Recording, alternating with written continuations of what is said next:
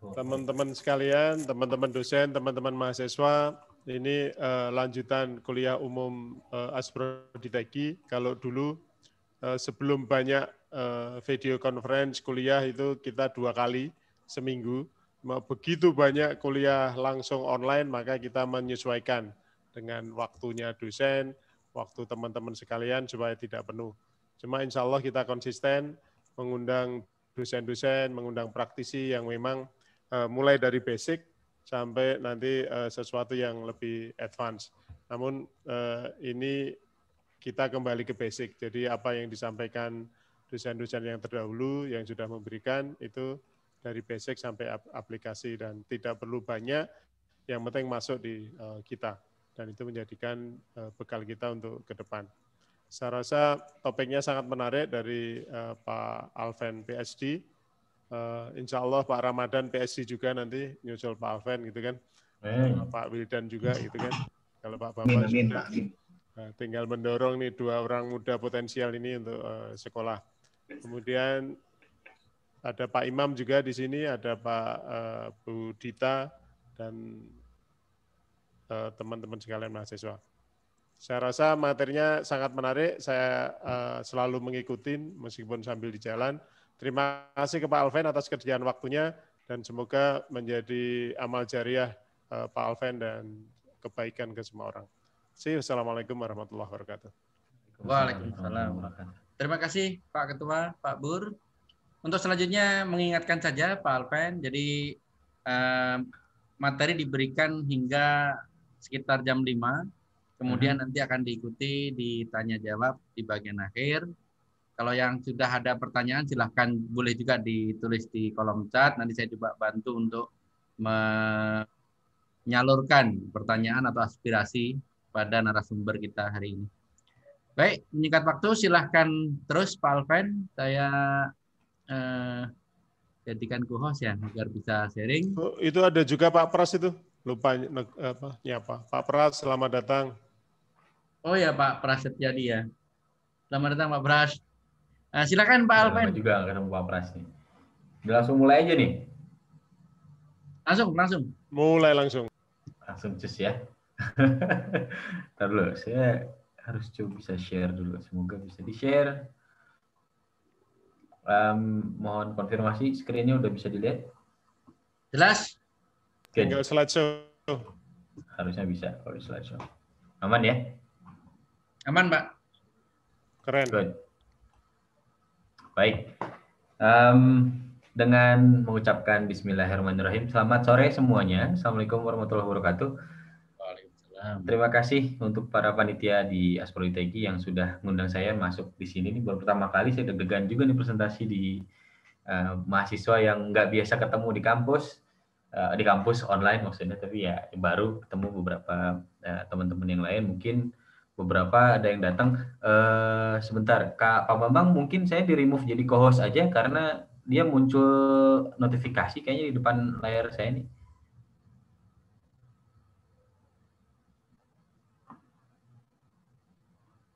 Halo. Pak Bambang. Pak Bambang. Sudah, sudah, sudah, sudah. Sudah. Ya, oke, terima kasih banyak. Jadi kalau muncul banyak notifikasi, jadinya ada, ada gambar kuning atau muncul di situ apa? Kayaknya mungkin muncul di situ jadi garis warna hitam kalau nggak salah. Betul. Baik, um, sebelum saya mulai lebih jauh, saya mau kasih disclaimer di depan ada tulisannya di bawah itu. Semua diagram ini saya provide, kita provide diambil dari banyak sumber, baik dari buku maupun dari internet dan untuk educational purpose. Kalau nggak ketemu ada gambar yang ada referensinya, most likely mereka dari saya ambil dari internet dengan lisensi Creative Commons, jadi bisa dipakai tanpa dimodifikasi. Kalau misalnya sudah ada kreditnya, nanti kalau butuh informasi tambahan tentang topik tertentu, teman-teman dan Bapak Ibu sekalian bisa lihat dari referensi yang itu. Dan semua kredit yang ada dari sini bukan ke saya tapi ke semua original publishernya, ke original authorsnya, ya. Baik, sebelum kita mulai ke dating dan provenance, apa itu dating dan provenance, saya akan sajikan dulu problemnya. Problem yang kita punya di geologi adalah um, bumi. Bumi ini umurnya tua sekali. umurnya 4,6 plus minus 300 juta tahun mungkin ya.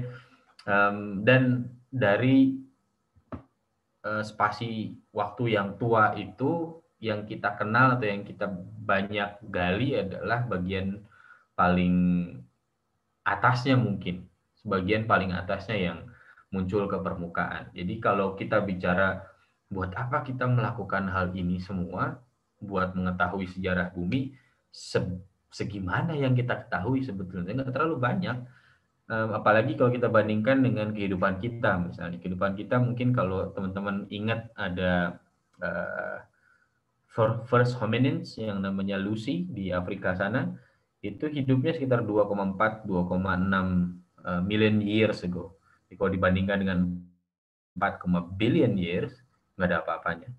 Nah, da, tapi dari rekor kehidupan itu sepertinya manusia punya um, peran yang cukup besar dalam pada akhirnya kita bisa membuat atau orang-orang over the years mereka bisa membuat sejarah bumi yang sedemikian kompleksnya kalau kita mau percaya hasilnya. Ini enigma yang pertama bahwa sejarah itu ada kita lihat dari batuannya akan tetapi kita ambil dari hanya sedikit saja bagian yang uh, muncul ke permukaan. Apakah itu menceritakan semua sejarahnya? Saya pikir sih enggak semua ya, tapi dari yang sedikit itu kita bisa bicara banyak hal. Nah, um, dalam menentukan biografi tadi, kan ada skala waktu geologi. Mungkin teman-teman udah uh, familiar dengan skala waktu geologi. Nah, skala waktu geologi itu ditentukan dengan dua hal. Pertama, dengan penentuan umur relatif, yang kedua dengan umur absolut.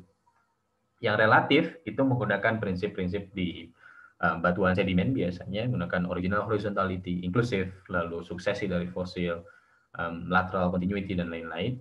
Pada pentarikan absolut yang akan kita bicarakan hari ini, kita menggunakan uh, pentarikan menggunakan radiometrik.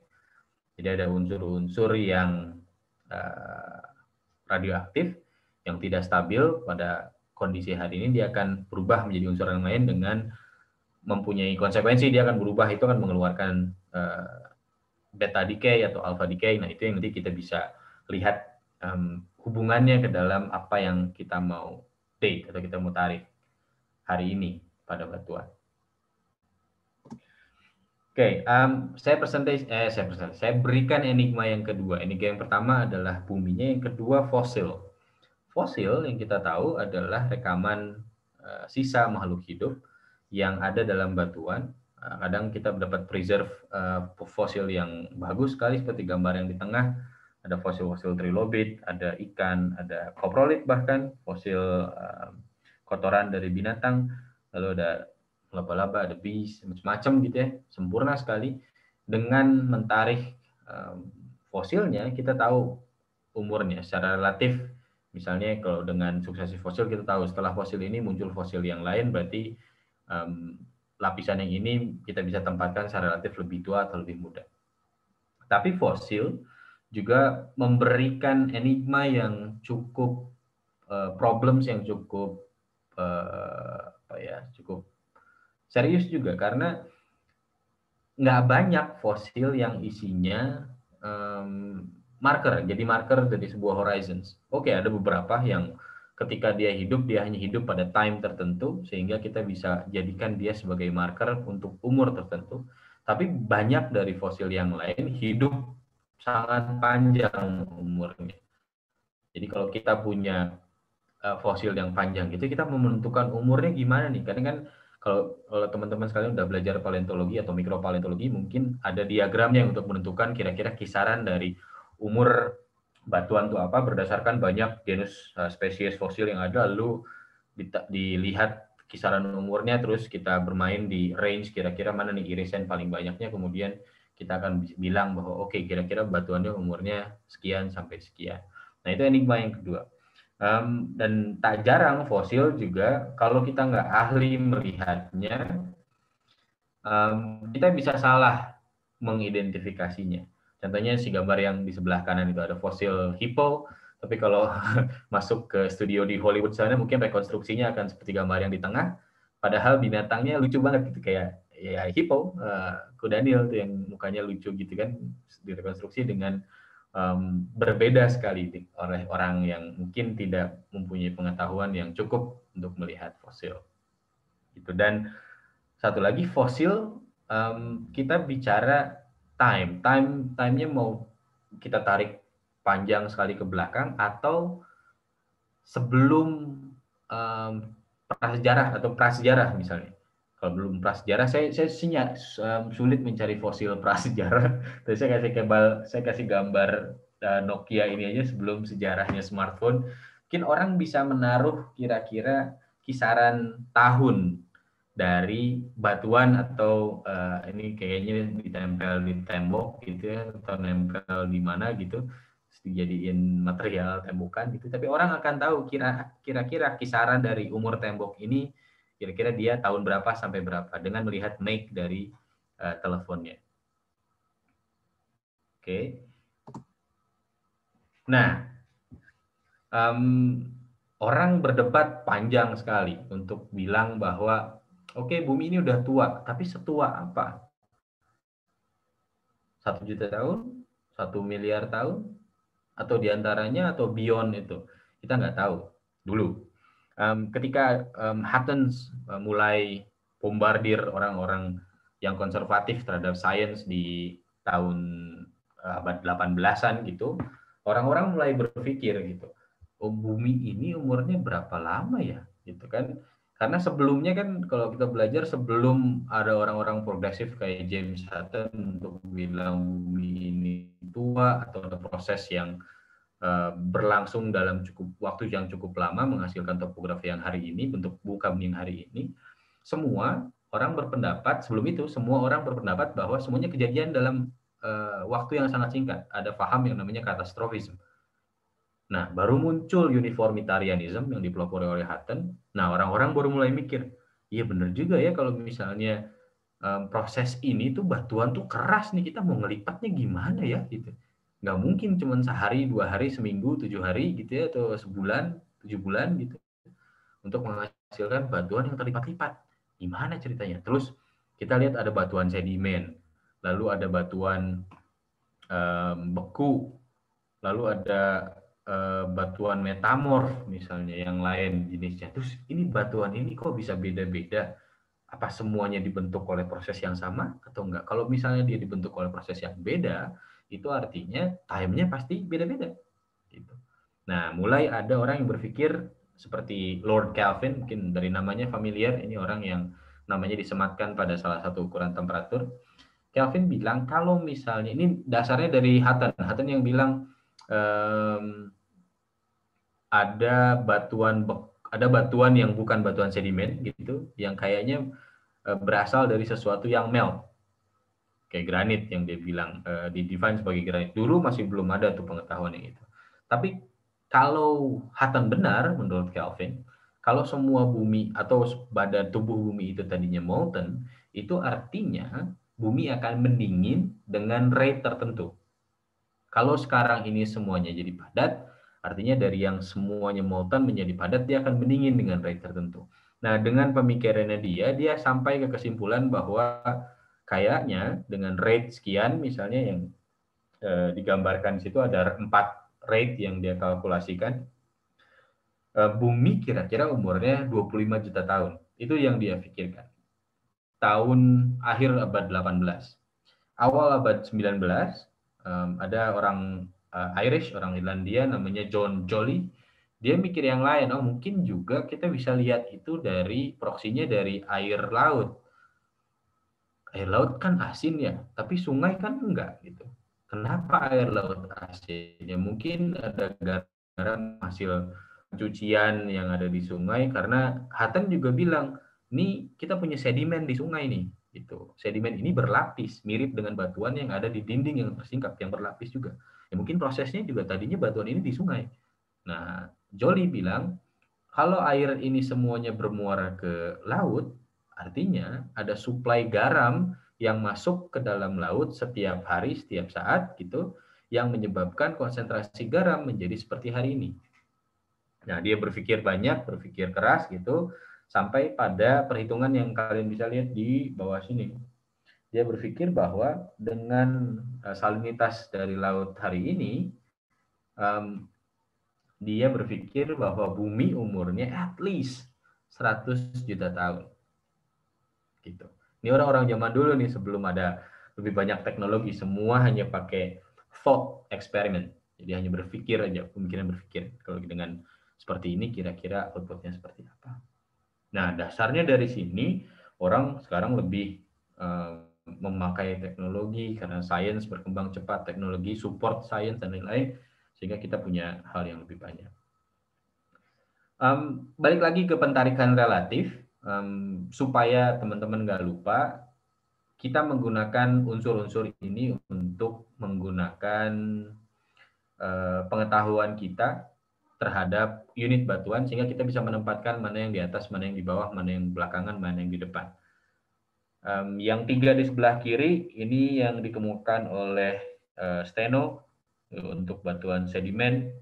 Jadi superposisi berarti yang atas itu muda, yang bawah tua horizontalitas uh, bahwa semua batuan diendapkan horizontal, batuan sedimen terutama, lalu menerus secara lateral. Lalu ada yang kita kenal dengan eh, hubungan potong memotong, jadi batuan yang memotong pasti yang lebih mudah. Lalu ada ketidakselarasan, batuan yang berada di atas ketidakselarasan pasti lebih mudah. Lalu ada ada eh, konsep inklusi. Inklusi itu kalau kita punya fragmen asing yang masuk ke dalam batuan yang diendapkan di situ, berarti fragmennya umurnya lebih tua dari batuan itu.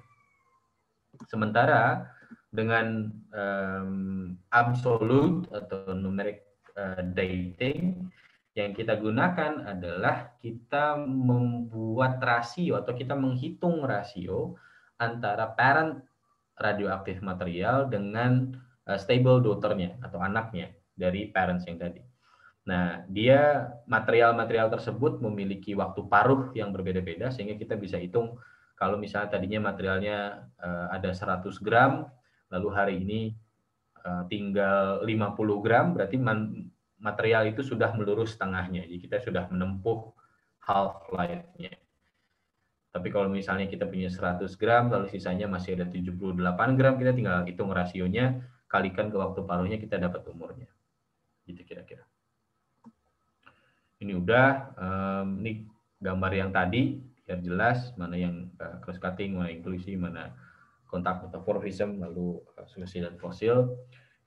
Um, saya nggak, saya tadinya pengen lewat ini, tapi kayaknya penting juga untuk menjelaskan kenapa ini menjadi sesuatu yang penting di dalam uh, pentarikan.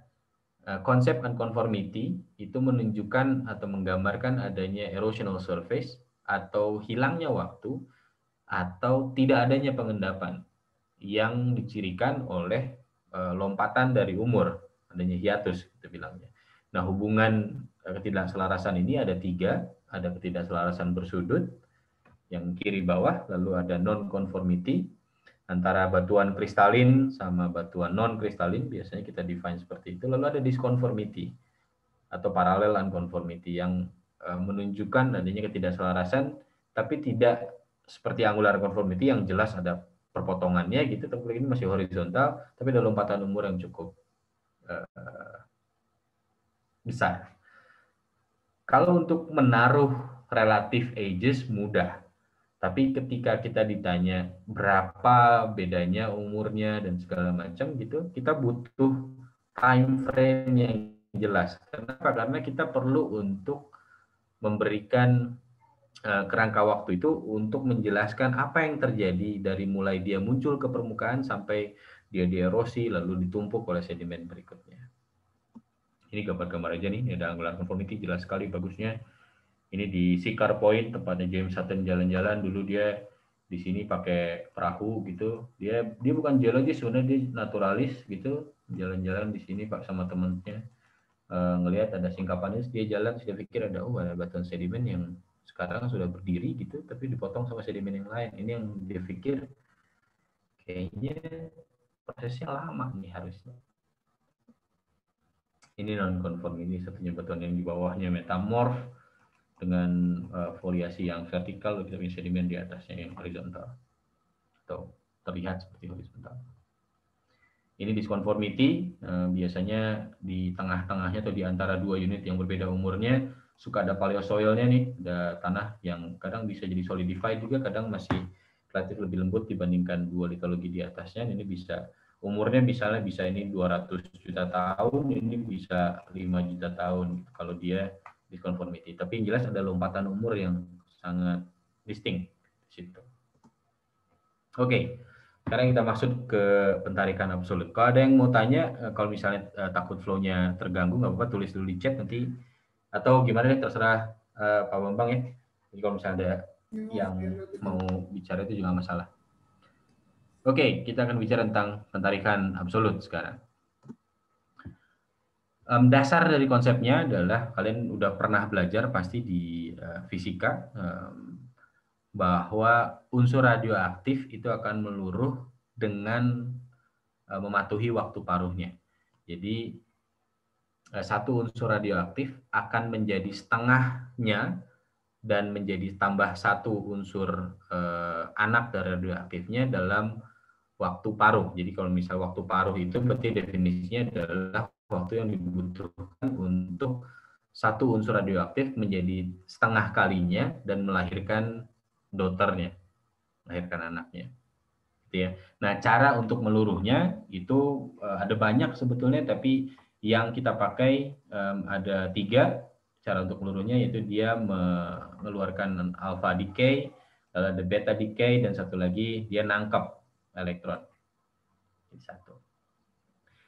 Um, konsepnya gimana pada saat melt itu menjadi batu, di dalam melt itu kan udah banyak tuh ada ada radioaktifnya ya, misalnya ada, ada potasium, ada uranium dan lain-lain. Di gambar yang sebelah bawah sebelah kanan nih ada misalnya ini contoh ada radioaktif parents, ini ada radioaktif daughter misalnya. Ketika mineralnya mengkristal, ini yang harus kita asumsikan bahwa di dalam mineral ini yang ada hanyalah material dari parents. Gitu. Jadi semua material parents masuk ke dalam kristal lattice, ke dalam eh, salur-salur uh, kristal gitu masuk ke dalam situ dan menunggu sampai waktu paruhnya lalu menghasilkan daughter. Nah, di dalam case sebenarnya ini yang kita lihat pada batuan beku misalnya kalau misalnya yang kita lihat adalah ini gambar ini nih itu dan ini sudah waktu paruhnya berarti kita tahu kalau misalnya kita punya satu unsur parent sama satu daughter. Gitu. Yang kelihatan bisa dipakai untuk mentarik absolut adalah yang dua-duanya parent misalnya atau uh, sisanya tinggal setengah parentnya dengan satu daughter elemen, satu daughter atom dalam situ. Di dalam batuan beku jelas kita nggak bisa lihat, tapi kita harus asumsikan ini bahwa setiap mineral yang mengkristal di dalamnya isinya tadinya semuanya parent isotop atau parent radioaktif elements yang ada di situ. Baru nanti kalau kita kita asumsikan itu, baru kita bisa pakai mineralnya untuk mentarik umurnya. Dengan asumsi tadi semua parentsnya nanti akan decay menjadi daughter. Jadi kita tinggal bikin rasio dari daughter terhadap parents dikali half life-nya dapat umurnya. Itu ya um, cara gampangnya mungkin kayak gini, kita punya time nol di satu sebuah kristal gitu isinya ada radioaktif elemennya uranium 238 atau 235. Um, di time nol ada sekian banyak uranium. Di time 1 jumlah uraniumnya berubah jadi setengahnya dan jumlah ada muncul doternya yaitu lead atau Pb atau timbal jumlahnya sama dengan eh, setengah dari jumlah uranium yang ada. Di waktu half life kedua ini jumlah dari uraniumnya sekarang jadi tinggal setengahnya dan jumlah Pb-nya nambah. Jumlah di time ketiga yang begini, nanti kita tinggal punya sisa dua uranium, lalu Pb-nya banyak.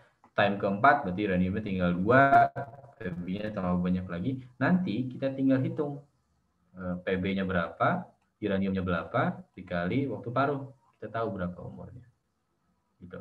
Nah beberapa yang eh, mineral yang dipakai teman-teman bisa lihat semua di depan. Ada yang namanya zircon, ada yang namanya uraninit, ada muscovite, ada apatite, ada biotit, ada um, hornblende, maaf saya campur-campur bahasanya, um, pakai bahasa Indonesia saja, ada glauconit, ada rutil, ada uh, titanit, garnet, macam-macam. Mineral-mineral ini memiliki waktu uh, uh, mengkristal tertentu, jadi kita bisa tebak misalnya, contohnya gini, kalau misalnya kita punya apatit, di dalam batuan beku ini nggak mungkin adalah suhu 100 derajat itu nggak mungkin suhu uh, pembentukan atau suhu pelelehan batuan beku. Jadi yang akan dilihat untuk apatit adalah suhu terakhir sebelum dia completely solid. Tapi kalau kita menggunakan zircon misalnya oh ini suhunya masih sekitar 800-an. Mungkin kalau kita ambil zircon sebagai termokronometer, kita bisa pakai zircon untuk menentukan kapan meltnya dibentuk, kapan lelehan magmanya terbentuk. Um, ini skema mudahnya lagi untuk memvisualisasikan apa itu half-life. Kalau tadinya kita punya 100% uh, parents, di time 1 kita punya 50 atom parents, 50 atom 50% atom parents, 50 atom uh, persen atom daughter. Di time 2 rasionya berkurang, ini tambah berkurang. Gitu. Jadi yang akan kita lihat adalah rasionya. Um, pasti ada yang bertanya, kalau misalnya tiap unsur punya atau unsur radioaktif itu punya um, waktu paruh masing-masing, terus bagaimana cara kita menentukannya? Nah, ini ada banyak konvensi dan ratifikasi untuk um, unsur-unsur radioaktif ini. Kalau masih ingat, eh nggak tahu ya, kalau di pelajaran sejarah mungkin masih ada zaman tahun 50 sampai tahun 70-an, itu adalah episode di uh, civilization di peradaban manusia di mana orang-orang uh, bereksperimen menggunakan fission sama fusion dari nuklir, dari nuclides. Jadi mereka membuat uh, mereka mengambil material yang radioaktif uh, nuklir gitu untuk dilihat kalau dia misah jadi uh, atau dia bergabung jadi unsur yang lain gitu fusi atau fisi dia menghasilkan energi. Nah energi itu dipakai untuk bom, untuk reaktor nuklir dan segala macam itu di periode sekitar tahun 50 sampai 70-an. Nah, menggunakan studi-studi orang-orang itu pada zaman itu ada banyak saya bilang ada banyak convention, ada banyak ratification. Nah, terakhir value dari angka uh, half life dari unsur-unsur itu disepakati pada tahun 1976. Ada values yang diterima pada tahun 1976. Mereka sepakat kalau misalnya uh, decay dari potasium eh, dari ya dari uh, potasium ke argon itu uh, decay-nya uh, sekian angkanya dengan dengan tahu angkanya segitu half life-nya dia bisa hitung nantinya. Jadi decay rate-nya di, dihitung pada banyak kesempatan kalau kalau kalian lihat di depan nih ada dari tahun 45 sampai tahun 70 gitu mereka membuat studi itu dan akhirnya diputuskan sebuah angka yang menentukan rate dari decay dari radioaktif tersebut, kemudian itu akan dikalkulasikan untuk mencapai half life dari unsur radioaktifnya. Jadi kalau penasaran, ini ada um, uh, paper dari uh, Beckinsale sama Gale tahun 1969 di ujung tahun 1970 di. Jadi kalian bisa baca lebih banyak. Oke, masuk ke cara pentarikan absolut eh, pada proses geologi yang pertama. Yang pertama adalah kita punya eh, peluruhan potasium menjadi argon atau argon yang tidak stabil 39 itu menjadi argon yang lebih stabil 40 nomor atomnya. Nah, prinsipnya sama.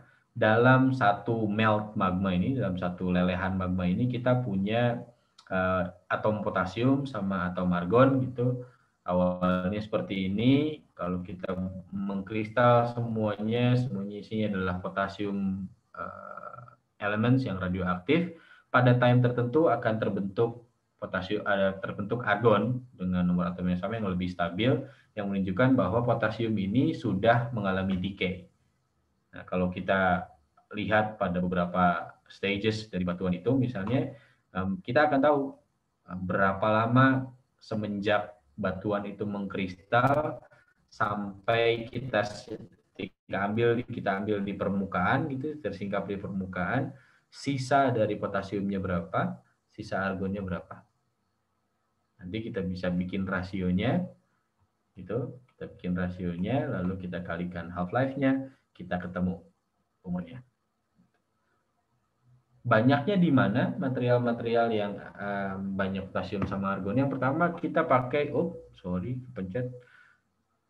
Kita pakai mineral mika. Ini mika contohnya ada uh, biotit dan muscovite gitu um, gambar ini ya sempurna bagus ada cleavage-nya bagus sekali kita bisa lihat nah pada latis dari mineral mika itu banyak potasium sama argon jadi kalau kita punya batuan yang banyak mikanya ya kita bisa harapkan batuan itu bisa di dating dengan menggunakan teknik potasium argon atau argon dan argon atau kalaupun toh kita nggak punya sampel yang ada mikanya kita bisa harapkan beberapa mineral masih meretain atau menyimpan potasium dan argonnya tanpa bocor keluar. Jadi kita bisa analisis untuk satu part batuan, ya satu horok batuan atau seluruh batuannya kita crush, lalu kita analisis untuk uh, potasium argon atau argon argon. Tapi ya itu namanya kalau bedanya kita menganalisis mineral sama batuan, nanti kalau misalnya kalau mineral kan jelas dari satu populasi mineral nih. Tapi kalau dari whole rock, kan ada banyak tuh ada banyak misalnya yang ada potasiumnya juga ada biotit ada hornblende misalnya ada plagioclase itu apalagi ada feldspar dan segala macam dan mereka punya temperatur ingat kan tadi temperatur mineral kan beda-beda tuh jadi kalau satu umur itu misalnya mewakili temperatur sekian satu umur lagi mewakili temperatur yang lain jadi nanti umurnya range-nya akan terlalu lebar. Makanya kalau whole rock biasanya Eh, akan menghasilkan umur yang lebar sementara kalau misalnya kita analisis mineral mikanya aja biasanya umurnya lebih sempit lebih lebih narrow lebih definitif gitu ya. Teknik yang kedua adalah menggunakan rasio rubidium dan strontium ini juga rubidium juga merupakan unsur radioaktif yang tidak stabil dia akan meluruh menjadi strontium dengan nomor atom yang sama um, kita bisa mengaplikasikan rubidium sama strontium ini pada mineral mika juga. Kalau kalian lihat di kiri bawah pasti tahu itu apa? Itu ada silicon sites. Biasanya di silicon sites uh, ada mineral mikanya, makanya silicon sites juga mengkilap kan ya. Kadang ada adisi kalsit juga yang kena smear gitu. Nah kita bisa menggunakan um, isotop atau radioaktif rubidium 87 dengan strontium 87. Prinsipnya sama. Elemen ini akan meluruh dengan waktu parohnya sendiri, kita tinggal hitung rasionya. Jadi ini contoh-contohnya di uh, gambar di sebelah kanan, ada silicon sites-nya, kalian bisa lihat silicon sites-nya, ada yang isinya kalsit, ada yang isinya adularia, ada yang isinya klorid, nah, klorid juga salah satu grup mika, terus kita bisa lihat um, yang lain-lain, semuanya bisa dipakai kalau uh, pada permukaan silicon science. Ini salah satu hasilnya nih um, dari paper uh, yang baru terbit di Nature. Saya lupa namanya siapa ini. Eh, sorry, ketutupan sama notification saya nggak bisa. Tilburg kalau saya nggak salah. Iya benar. Ada Tilburg tahun 2000 baru fresh sekali baru terbit awal tahun ini kalau saya nggak salah. Ini dia menganalisis sebuah zona sesar lalu menghasilkan berapa banyak umur yang ada di situ. Bisa lihat di sebelah kiri dalam satu zona sesar menggunakan uh, rubidium sama strontium uh, isotop dia menghasilkan umur uh, 1,5 billion years. Ini ada satu billion years, ada yang uh, di Permian, eh Permian 300-an itu kira-kira Devonian ya. Ya, situ. Lalu dia juga menghasilkan yang umurnya lebih tua di ya mirip sama yang di bawah situ. Nah, dengan mengetahui tiap silicon sites itu punya umur yang beda-beda, akhirnya dia bisa merekonstruksi sesar-sesar itu. Mana yang duluan, mana yang belakangan, apa efeknya, apakah yang duluan mengalami re uh, rejuvenasi misalnya, misalnya jadi gerak kembali reaktivasi atau tidak. Kalau lihat dari sini dari bidang-bidang sesarnya kelihatannya beda-beda semua ya. Cross cutting relationship dari sesar itu bisa ketahuan dengan kita mentarik uh, bidang sesarnya. Kalau ketemu. Kadang-kadang kalau di Indonesia atau daerah yang tropik tantangannya adalah weathering terjadi dengan sangat cepat sehingga uh, pelapukan uh, menghilangkan semua jejak hampir semua jejak yang ada di situ. Dan kita punya problem besar. Tapi kadang-kadang karena sering hujan terus jalanan sering longsor itu juga jadi berkah juga kan. Jalan sering longsor pasti ada singkapan barunya nih yang ini hilang gara-gara lapuk tapi ada singkapan baru atau gara-gara longsor eh, pemerintah jadi bikin jalan baru mereka mengupas geologi baru gitu muncul yang baru. Nah kadang-kadang ada opportunity yang itu juga yang bisa dipakai.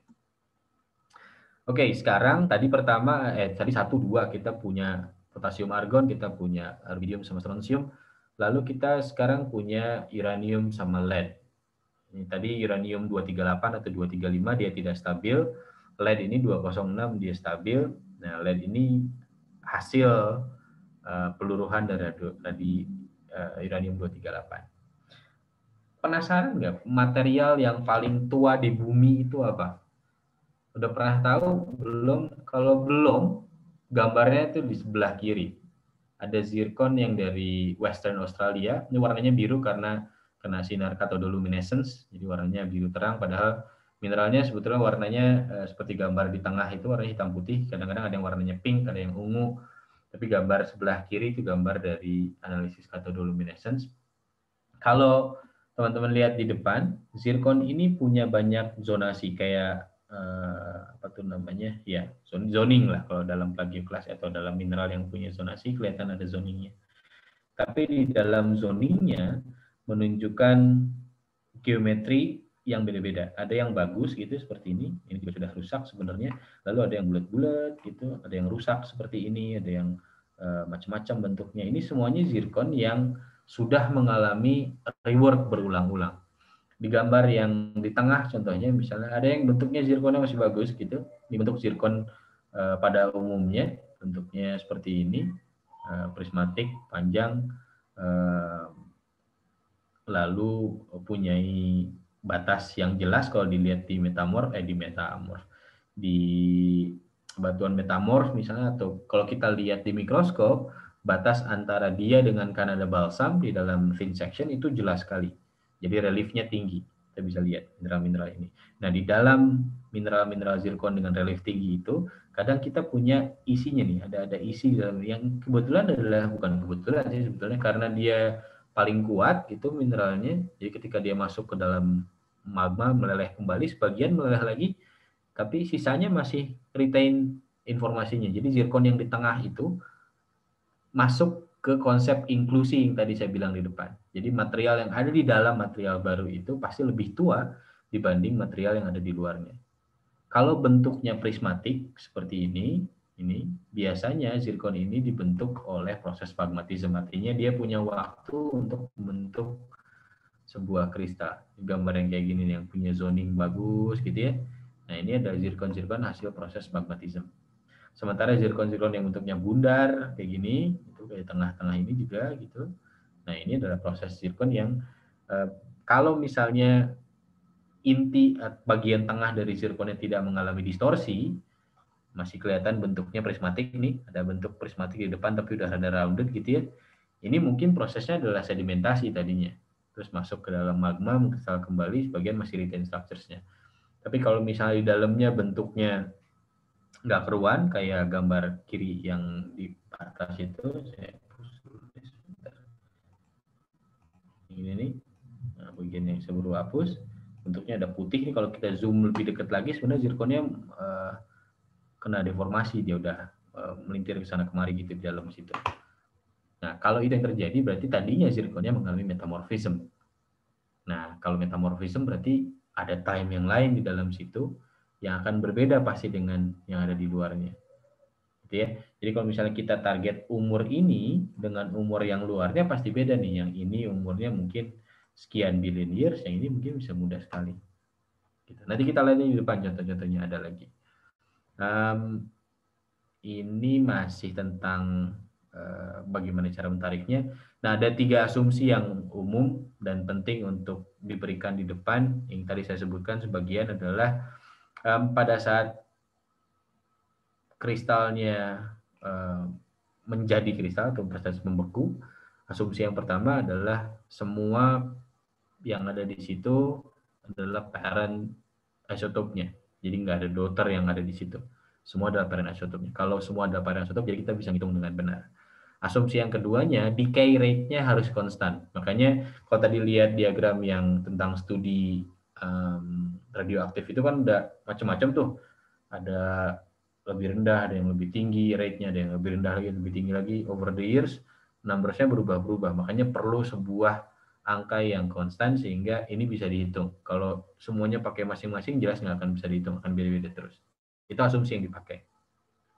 Asumsi yang ketiga berkaitan yang semua yang pertama bahwa kalau kita menemukan daughter isotop di dalam mineral kristal itu itu adalah hasil peluruhan dari parent isotop. Itu asumsinya. Gitu ya. Nah, ini contohnya salah satu yang sudah dilakukan terhadap zirkon gitu. Ini zirkon dari Gorontalo. bumbulan itu lokasinya sekitar kira-kira di sini nih sampelnya dari situ um, umur dari batuannya ini cuma sekitar 6,7 atau enam setengah juta tahun umur dari batu umur dari emplacement meltnya karena yang di dating adalah zirkonnya jadi pada beberapa zirkon seperti ini tampangnya ini bentuknya ini kelihatan kan bentuknya kristal ini ada kristal yang lain di dalam sini gitu terus ada ada kristal di luarnya gini nah ini menunjukkan bahwa tadinya kita punya kristal itu satu yang di paling bawah gitu, paling dalam. Saya gambar dulu deh. Ini ada mineral zirkon ini di dalam sini, kemudian mineral ini masuk ke dalam sistem magma gitu, masuk sebagian meleleh, mungkin sebagian diselimuti oleh zirkon yang baru sehingga kita punya mineral yang baru di sini. Lalu kita punya mineral yang paling luar yang menunjukkan ini paling mudah nih pasti. Jadi kalau kita dating bagian luarnya, bagian tengah sama bagian dalam, nih murah pasti beda-beda. Nah, beberapa zirkon yang ada di bumbulan Pluton yang ada di Gorontalo ini, dia menunjukkan hal yang kita lihat di diagram yang sebelumnya. Nih. Ada bagian tengah yang bulat ini, terus ada zirkon yang mengalami distorsi di tengah-tengah situ. Ketika di dating umurnya, yang bagian luar ini umurnya di 6,7 atau 6,5 juta tahun. Nih, bagian luar ini yang bentuknya prismatik di situ. Yang ini umurnya di situ. Bisa baca nggak? umurnya berapa juta tahun tuh? 1,5, 2, 2,5. Ya, sekitar antara 1,5 sampai 2,5 billion years. Dalam batuan yang umurnya 6,5 juta tahun. Luar biasa ya. Jadi di dalam batuan yang umurnya sangat muda, ada fragmen batuan dari ya ini fragmen batuan berarti ada mineral, mineral ya yang survive proses itu selama billions of years. Ini uh, strong pointnya dari pentarikan radioaktif dengan specifically menggunakan zircon.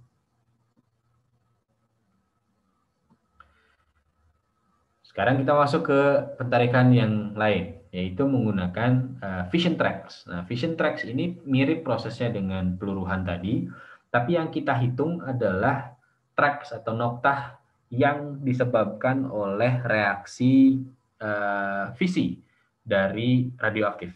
Gambarnya di sebelah kanan. Jadi kalau misalnya kita punya unsur radioaktif gitu di gambar sebelah kanan itu yang di uh, mineralnya warna merah ini unsurnya nih. Nah, kalau ketika unsurnya ini meluruh, dia akan mencederai uh, atom kristal yang ada di dalam um, tubuh dari mineral itu. Jadi lebih banyak noktahnya lebih banyak vision tracknya, berarti batuannya lebih tua. Kalau vision tracknya baru sedikit, berarti meluruhnya baru sedikit, gitu ya. Kalau dia udah lama banyak gitu, ya berarti dia sudah lebih tua batuannya. Nah, yang dia hitung adalah tracksnya. Jadi nanti ini mineralnya nih, ini ada mineral namanya apatit. Nah, bisa pakai apatit, bisa pakai zirkon. Sebetulnya di, di listnya ada di bawah nih. Nah, kalau zirkon, closure temperaturnya di 200 250 derajat Celcius, apatit lebih rendah sekitar 120-an. Kalau di pertambangan gitu di daerah-daerah tambang biasanya banyak yang bisa dipakai untuk uh, melihat um, hidrotermal biasanya melihat kapan hidrotermalnya naik ke permukaan atau kapan sistem hidrotermal itu ada biasanya ngambil dari mineral-mineral yang kalau misalnya di depan ada titanit, ada hematit, ada apatite, ada goethite, kuarsa kadang-kadang kita bisa lihat atau feldspar sekalipun. Tapi yang kita lihat adalah unsur-unsur tadi yang radioaktif tadi ketika dia membelah diri, bukan membelah diri jadi amuba ya. Ketika dia uh, menjadi daughter gitu, jadi satu daughter dan setengahnya dia, nah dia mencederai uh, susunan atom dari mineral itu sehingga ada tracks yang terbentuk. Jadi tiap tracks ini adalah hasil dari reaksi fisi um, individu atom radioaktif yang kemudian merusak jalinan atom pada kristal. Um, kenapa kita pakai appetite fission track? Itu karena um, dia tadi closure temperaturnya kan rendah tuh sekitar 120, 120 derajat Celcius. Artinya kalau dia bisa terbentuk pada temperatur 120 derajat Celcius, kita bisa tahu sejarah batuan itu pada temperatur 120 derajat Celcius. Kebayang kan ya? Kalau kita punya gradien geotermal, misalnya gradien geotermalnya eh, 25 derajat atau berapa derajat per kilometer, di surface aja udah 25 derajat gitu. 120 derajat itu ya paling kan di kedalaman 4 km misalnya.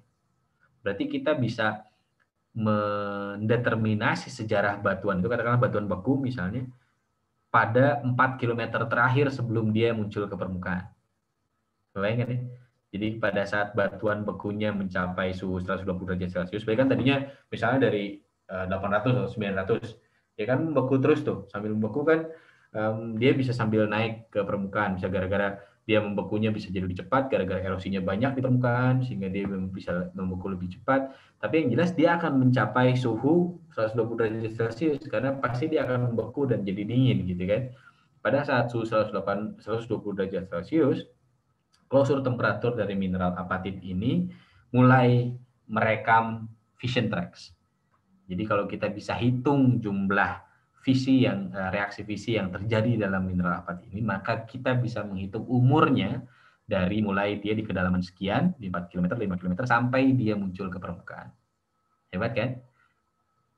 Nah, hal-hal ini bisa dipakai untuk proses-proses yang cepat, tentu seperti misalnya eruption dari vulkanik, eh, impact event dari metamorf eh, dan meteor misalnya, lalu hidrotermal seperti yang dibilang tadi, sesar bahkan, intrusi terus uh, kalau yang proses yang lambat lambat-lambatnya seperti erosi tadi tektonik pengangkatan pegunungan pembentukan topografi relaksasi temperatur gara-gara ada mantel naik ke permukaan nah itu semua bisa dihitung. Rate-nya karena kita bisa tahu bahwa mineral apatit ini closure temperaturnya atau uh, temperatur pembekuan bagian paling atasnya itu dimulai di 120 derajat Celcius. Jadi kita bisa track sampai ke atas gitu Tujuannya itu karena dia sangat sensitif terhadap uh, temperatur tadi, jadi kita bisa tahu uh, seberapa banyak reaksi fisi yang terjadi setelah lewat 120 derajat Celcius. Dan kita bisa melihat uh, rate dari cooling pada 5 km paling atas dari sebuah kerak. Saya bilang tadi ya kalau pakai gradient geothermal uh, berapa 20 derajat per kilometer ya di surface-nya kita punya 25 derajat berarti kira-kira sekitar um, 5 km berarti ya suhunya 120 derajat. Jadi kita bisa calculate karena apatit ini punya uh, low temperature termokronometer karakteristik. Um, tadi mungkin ada yang bingung tentang istilahnya, ada istilah annealing, ada istilah half-life. Ini saya kembalikan ada list half-life-nya bahwa tiap material punya half-life masing-masing. Tapi ada istilah annealing. Annealing itu adalah um, proses pendinginan dengan rate yang konstan. Jadi proses annealing adalah proses pendinginan dengan rate yang konstan. Jadi ketika dia sampai ke temperatur closure di bagian annealing, ya dia udah akan dingin dengan rate yang lebih konstan. Kalau di dalam rate-nya belum tentu konstan karena mungkin di dalam sana masih diefek sama tektonik misalnya yang tadinya di kedalaman 10 km, 11 km gitu mau ke atas dia bisa didorong sama tektonik sehingga ke atasnya bisa jadi lebih cepat jadi pembekuannya tidak dalam rate yang uh, apa konstan tapi kalau bisa udah sampai di atas most likely uh, closing temperaturnya uh, atau annealing temperaturnya rate-nya konstan gitu ya. Jadi kita pakai uh, istilah uh, closing temperature atau annealing adalah temperatur uh, perubahan temperatur yang konstan dari kedalaman tertentu. Ini contohnya kalau tadi misalnya apatit dibentuk pada kedalaman itu di time ini ini belum terjadi uh, visi ini dalam sini. Di sorry, mulai di kedalaman annealing ini di closure uh, temperatur ini mulai terjadi yang namanya tracks. Itu tracksnya mulai muncul di sini. Jadi ketika dia naik ke permukaan muncul tracks ada noktah-noktah gitu ada tracks-tracks uh, vision itu. Nah, baru kita bisa hitung dari mulai kedalaman di tadi 120 derajat Celcius tergantung gradien geotermalnya kedalaman berapa. Dari mulai titik itu sampai nanti dia sampai ke permukaan ada berapa banyak tracksnya kita bisa hitung. Sorry. Kita bisa hitung rate-nya. Rate-nya kita bisa kalkulasikan. Gitu. Ya. Um, ini gambarnya yang lebih jelas. Um, untuk jadi summary buat part yang ini ada um, gambar pertama yang di sebelah kiri kalian bisa lihat kalau dia sedikit vision tracknya um, dia muda, kalau dia banyak berarti dia udah tua. Ini kita ilustrasikan. Ini ini dari um, zircon atau apatit. Gitu. Ini apatit karena mungkin lebih uh, low reliefnya. Tapi jelas tracksnya kalian bisa lihat di tengah-tengah. Tinggal kita hitung banyak aja tracksnya ada berapa. Kita kalkulasi umurnya. Um, ini gunanya buat apa? Pada beberapa tempat kalian bisa lihat di penampang yang atas um,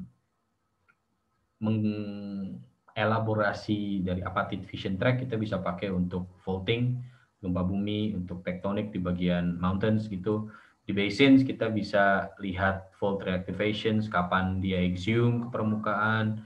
Um, di dekat volcanic mungkin kita bisa lihat mineralisasi, um, heat flow, kita bisa lihat um, evolusi dari basins, lalu perkembangan dari fall and thrust belt dengan menghitung pada bidang sesarnya digabung sama rubidium sama strontium kalau ketahuan ada silicon side misalnya pada bagian yang nggak ada basinnya itu juga bisa diambil. Karena kalau kita punya kristal apatit yang ada di sini nih tadinya kan pasti dari dalam situ tuh. Dia akan naik ke atas kan. Kita bisa hitung pergerakannya. Kita bisa hitung rate dari unroofingnya pengangkatan ke permukaan. Nah kalau kita punya mantel yang naik ke permukaan gini gitu juga misalnya mantel ini mendorongnya dari kapan sampai kapan kita bisa hitung dari closure temperatur dari apatit tadi di bawahnya ada eh, diagram yang sama sih tadi. Ya patit pada closing temperatur dia akan bergerak ke atas sampai muncul di permukaan. Kayak gini kita bisa hitung rate-nya. Kemudian dari bawah sampai atas naiknya berapa meter per tahun misalnya. Nah, ini contohnya di uh, Australia. Kita bisa lihat ada banyak um, data yang diambil di situ. Diagram yang sebelah kanan yang kita pengen lihat ada diagram yang menunjukkan uh, ini skemanya kayak gini di sebelah kiri ada dari Liskar 2009 dan dan kawan-kawan. Jadi kalau misalnya material itu uh, masuk ke dalam di dalam basin, misalnya, misalnya kita punya batuan sedimen, batuan sedimen itu punya kristal apatit. Nah, kristal apatit ini kalau dia dimasukkan ke dalam uh, kedalaman yang lewat yang cukup dalam sehingga temperaturnya melebihi 120 derajat Celcius, maka reaksi fisinya sembuh. Jadi dia akan kembali bentuknya akan seperti belum mengalami reaksi visi. Nah, ketika misalnya eh, apatit tadi mulai naik ke permukaan pada saat muncul di 120 derajat Celcius, mulai muncul reaksi visi yang pertama, lalu di atas semakin banyak dan di temperatur yang hari ini juga kita bisa dihitung reaksi visinya ada berapa banyak gitu.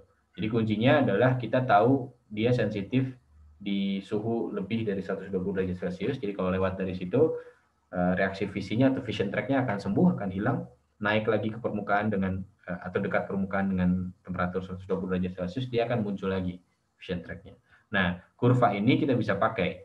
Berarti pada saat um, dia turun ke bawah seperti ini, material yang mengandung kristal apatit itu mengalami pemendaman. Bisa bisa dalam basins, bisa di dalam kerak misalnya.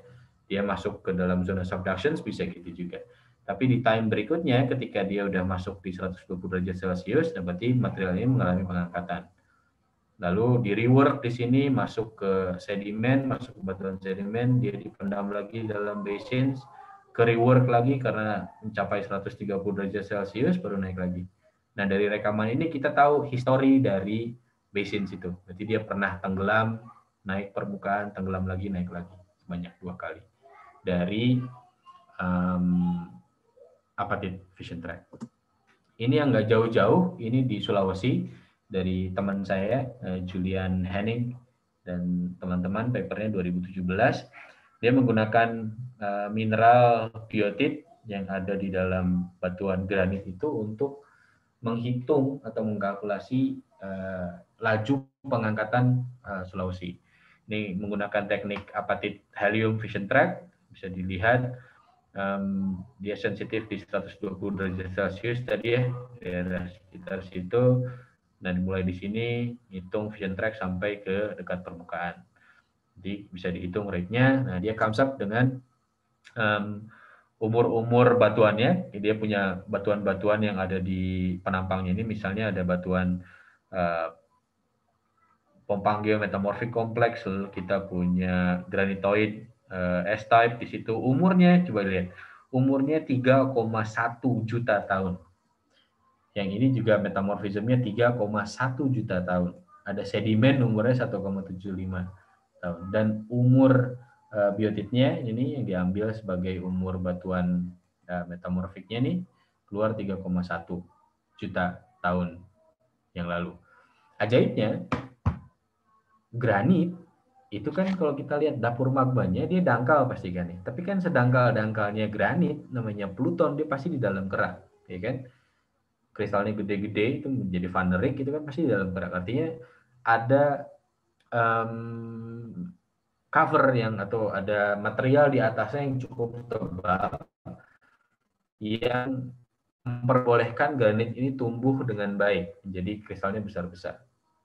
Sekarang bayangkan, material yang umurnya 3,1 juta tahun, saya misalnya di kedalaman 4-5 km, dia mengkristal menjadi granit yang besar-besar butirannya. Lalu hari ini dia sudah ada di ketinggian 1000 meter. Berarti semenjak 3 juta tahun yang lalu, tubuh granit ini naik ke permukaan sebanyak 6 km. Amazing kan? upliftnya itu 6 km selama 3 juta tahun. Jadi tiap tahun kira-kira naik sekitar 2 cm permukaannya. Luar biasa kan? Iya kan? Nah, uh, Henning sama teman-temannya uh, menghasilkan cooling rate ini nih dari uh, dari granitnya. Lihat rate-nya. 0,9 hingga 4 mm per tahun. Yang ini 0,75 dengan 0,9 mm per tahun. Kalau kita ambil yang paling besar 4 mm per tahun, artinya dalam satu juta tahun dia naik 4 km. Ya. Atau pasti ambil yang paling kecil deh, 0,75 mm per tahun. Berarti dalam satu juta tahun dia naik satu kilometer tubuh granit ini. Kita udah lihat di semua tempat di dunia, di belahan dunia yang lain, nggak ada yang punya rate of uplift yang seluar biasa ini. Sulawesi baru muncul ke permukaan sekitar 3 million years ago. Dari mana kita dapatnya? Dari kombinasi antara umur uranium lead dengan apatit fission rate. Rate uplift yang segini tingginya di Indonesia ini, di bagian Sulawesi terutama, ini menghasilkan banyak structures yang luar biasa juga. Ini ke arah timurnya sedikit, daerah Tolotra. Kalian bisa lihat nih, ini ada material yang hari ini dikirim ke uh, oceans. Ini ada, kalian bisa lihat. Ada gravitational collapse structures. Ini ada gravitational collapse structures. Ini normal fault itu di ujung sini. Ini masih normal fault di sini. Di sebelah sini ujungnya adalah sesar naik Gitu.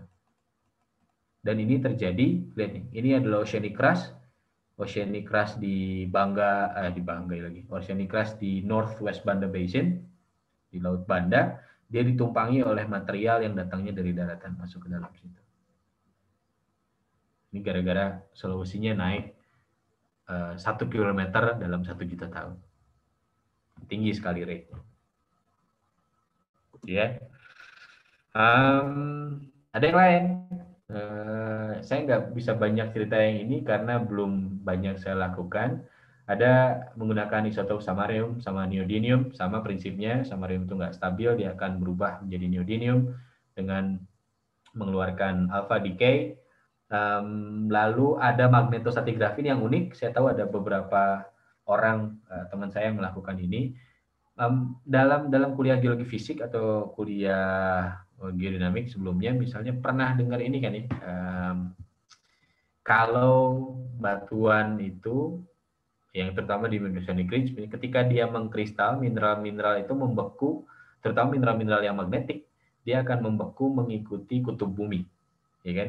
Nah, ada ada banyak orang yang meneliti tentang paleomagnetism.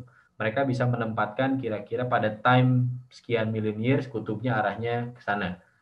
Pada time yang lain kutubnya arahnya ke yang lain misalnya. Nah, dengan menggunakan um, kemagnetan atau paleomagnetism dari batuan yang ada di situ, kita bisa menempatkan batuan itu umurnya apa dengan membandingkannya dengan um, kutub magnet yang rekaman kutub magnet yang ada di dalam bumi.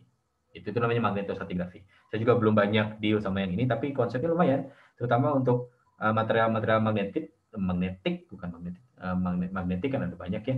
Um, di misalnya Oceanic Ridge atau ada sisa-sisa batuan yang tadinya kerak samudra yang numpang di uh, kerak benua kayak abduction atau collision kan nah itu bisa dipakai Yang lain yang mungkin kita sebagai geologis jarang dipakai tapi kalau geologisnya mengambil keahlian paleontologi nah ini akan banyak pakai.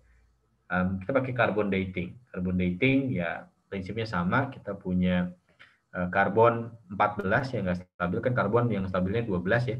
Nah, karena dia nggak stabil dia akan mengeluarkan beta decay menjadi nitrogen 14.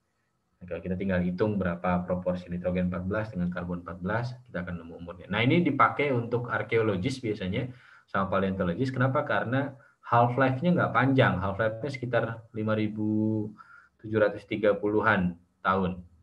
Jadi kalau misalnya dia udah terlalu tua ya udah habis si karbon 14 jadi kita nggak bisa lihat lagi kadang um, mass spektrometernya nggak bisa nangkap lagi jumlah karbon 14 yang tersisa karena udah terlalu sedikit plus uh, eh, half life-nya cuma pendek aja. Um, ini gambar yang saya maksudin tadi di uh, Bierman sama Montgomery tahun 2014 kalau kalian mau baca bukunya.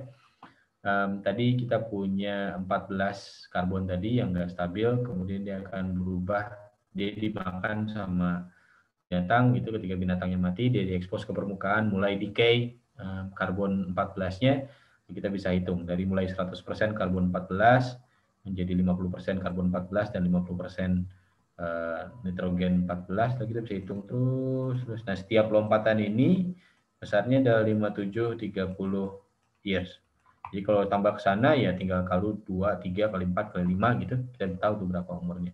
Tapi semakin ke sini semakin depleted um, karbon 14 jadi semakin sedikit. Nah, makanya yang ini banyak dipakai untuk um, arkeologis atau paleontologis yang geologi quarter biasanya. Pakai kayak gitu.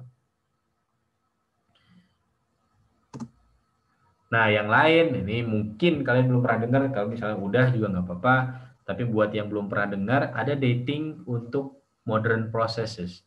Um, ada proses yang uh, pentarikannya itu menggunakan um, cosmogenic nuclides. Jadi cosmogenic nuclides itu kalau misalnya kita punya uh, material di permukaan, lalu di kita nggak kita ngerasa nih sebenarnya ada sinar matahari. Di dalam sinar matahari itu ada cosmic rays namanya ada neutron ada bombardment neutron ke dalam sebuah material.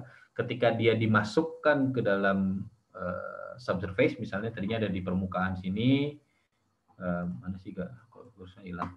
Uh, coret ya jadinya ketika dia ada di permukaan uh, dia dibombardir sama neutron gitu uh, lalu dia dimasukkan lebih dalam lebih dalam. Kalau misalnya ada banyak lagi uh, material yang muncul atau kita balik misalnya dari kedalaman uh, 3 meter ke kedalaman 0 meter di permukaan kita bisa tahu kita bisa hitung rate-nya. Ada berapa banyak uh, nuclides yang diproduksi di dalam tanah diambil sampel tanahnya terus dilihat dia diekspos dia sudah terekspos berapa lama terhadap sinar matahari nah itu bisa diambil karena um, alat sekarang sudah semakin sensitif, jadi kita bisa lihat misalnya pada mineral-mineral yang atau material-material yang mengandung silikon, oksigen, ada kalsium, ada potasium, ada chloride, um, nuclides yang bisa ada nempel di situ, ada aluminium, ada neon, ada helium, ada beryllium, macam-macam.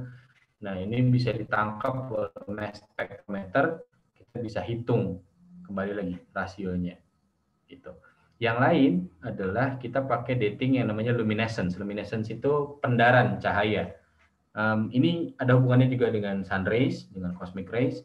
Uh, ketika material itu disinari oleh matahari, lalu um, panasnya akan sedikit demi sedikit merusak kristal lattice. Jadi ada ada dislokasi dalam kristal lattice yang kemudian um, energinya akan disimpan di dalam dislokasi itu. Kalau misalnya uh, energinya lalu dipanaskan nanti gitu um, si energi ini akan yang hilang. Jadi tadi misalnya energi kita udah punya dislokasi dalam kristal lalu dia akan menyimpan energi. Ketika dia muncul lagi ke permukaan dia akan melepaskan energinya. Jadi kita bisa hitung berapa banyak damage yang dihasilkan oleh lumine uh, apa namanya uh, rays-nya atau uh, oleh pancaran dari uh, cosmic rays-nya, misalnya ada berapa banyak dari situ, kita bisa hitung berapa banyak sisa energi yang disimpan di situ dalam berupa foton ya, energinya, lompatan fotonnya berapa foton yang sisa di situ, kita bisa hitung rasionya. Berapa banyak foton yang udah pergi, berapa banyak foton yang tinggal. Melihat dislokasi yang ada di situ. Misalnya dislokasinya ada 100, fotonnya sisa 30, berarti yang pergi udah 70, berarti kita tinggal ambil rasionya gitu.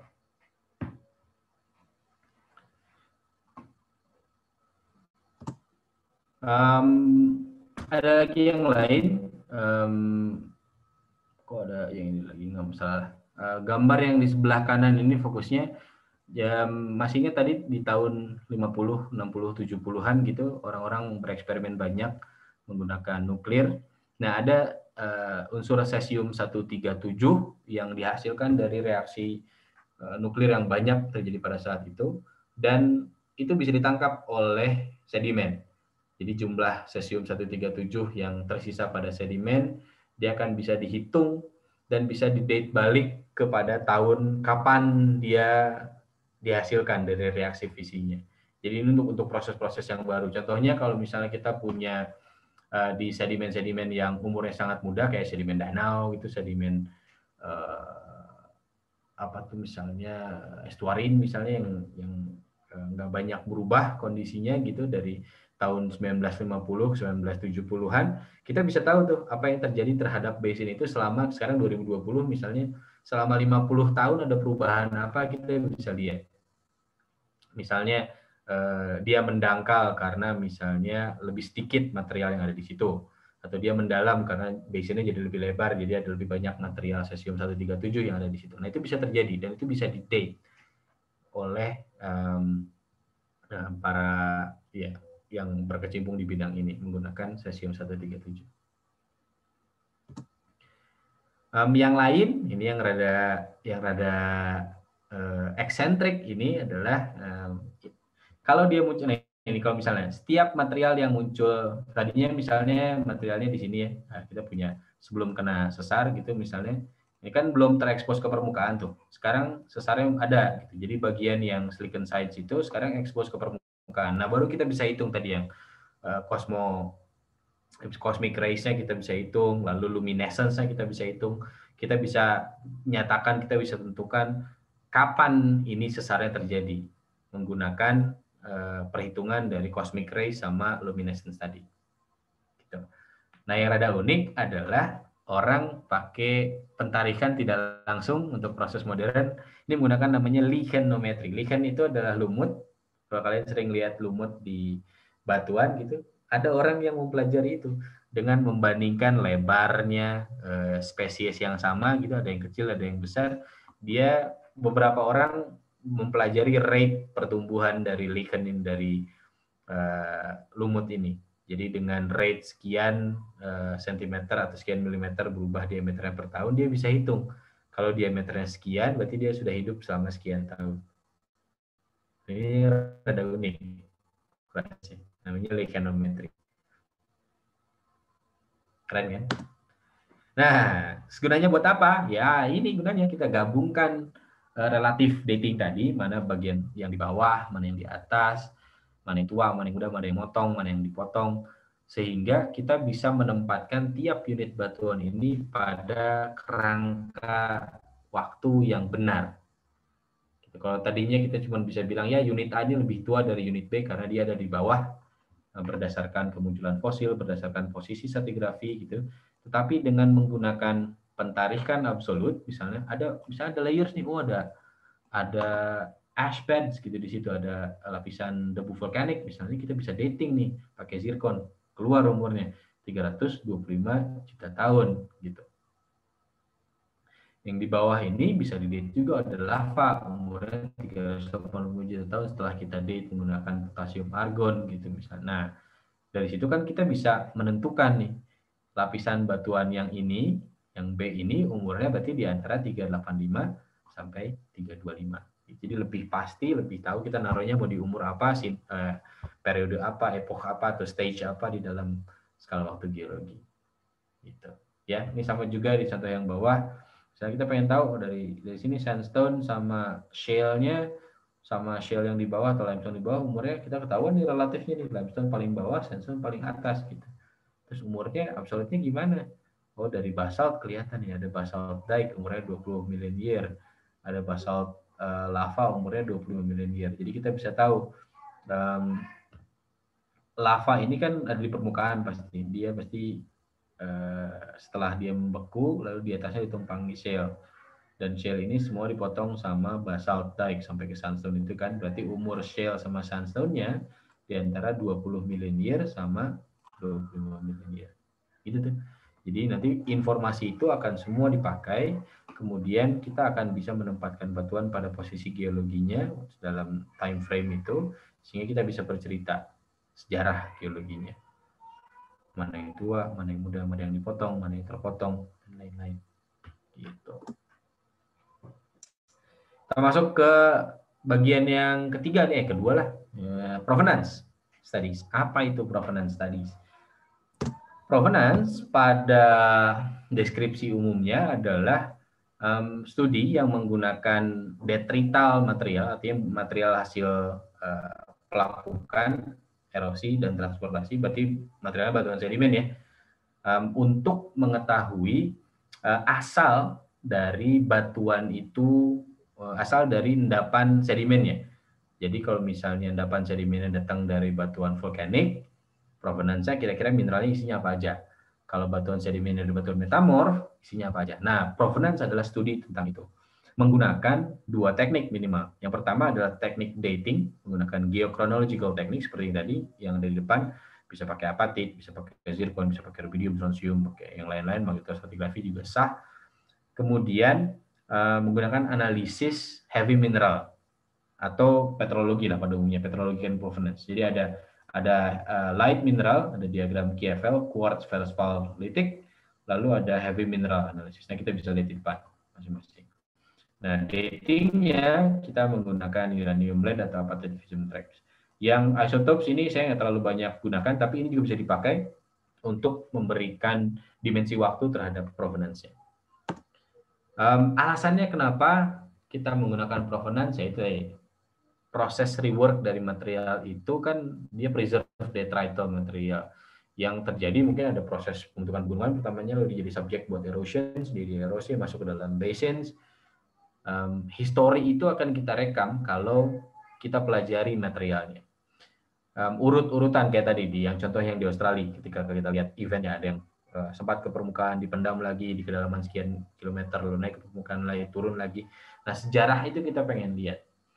Yang berikutnya kadang kadang kita tahu misalnya um, di Bandung aja ya di Bandung atau di Jawa Barat atau ya kita di Jawa Barat dekat Jawa Barat gitu ya um, sedimen yang ada di tempat teman-teman di Jakarta ada teman-teman di yang ekstrim di Unpati sana di Ambon nah, provenance pasti beda kan ya? di time yang sama kita bisa sama-sama punya batu pasir di sungai ini sungai Cikapundung atau di mana kita sama-sama punya batu pasir tapi asal materialnya beda-beda mungkin kalau di Bandung isinya banyaknya endapan gunung api sama endapan danau mungkin ya. Tapi kalau misalnya di Unpati isinya adalah either ambonit atau metamorfnya atau batu gamping formasi kais atau ada granit misalnya. Nggak ada tuh endapan gunung apinya. Ya kan? Jadi di time yang sama provenance material bisa berbeda-beda. Itu karena satu area bisa berbeda, kedua proses uplift atau pengangkatan pegunungan kan kadang-kadang pengangkatan itu bukan kadang-kadang. Kita bisa mengangkat topografi dengan cara uh, passively uplifted itu naik dengan cara vertikal atau kita potong dan kita sesar, kita bikin lipatan dipotong-potong sehingga pieces yang sama mungkin nggak ada di satu tempat tapi ada di tempat lain. Sehingga kalau kita punya basin di satu tempat um, sumbernya misalnya dari batuan sedimen di tempat yang lain gara-gara dipotong-potong sama sesar, di sana banyaknya batuan metamorf. Jadi cekungan yang di tempat lain isinya ya source dari metamorf bukan dari batuan sedimen. Gitu. Nah proses ini tentu dikawal sama erosi. Rate dari erosion kita bisa lihat um, um, perannya di dalam provenance juga kita bisa lihat.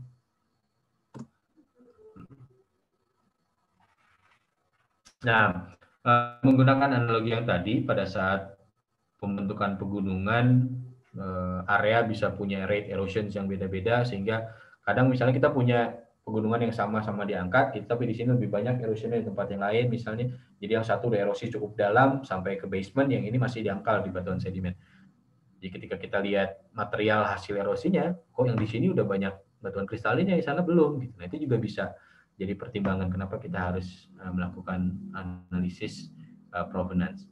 Um, sorry uh, kita bisa lihat material yang hasil reward itu kalau misalnya kita perhatikan hal yang di sebelah kanan ini.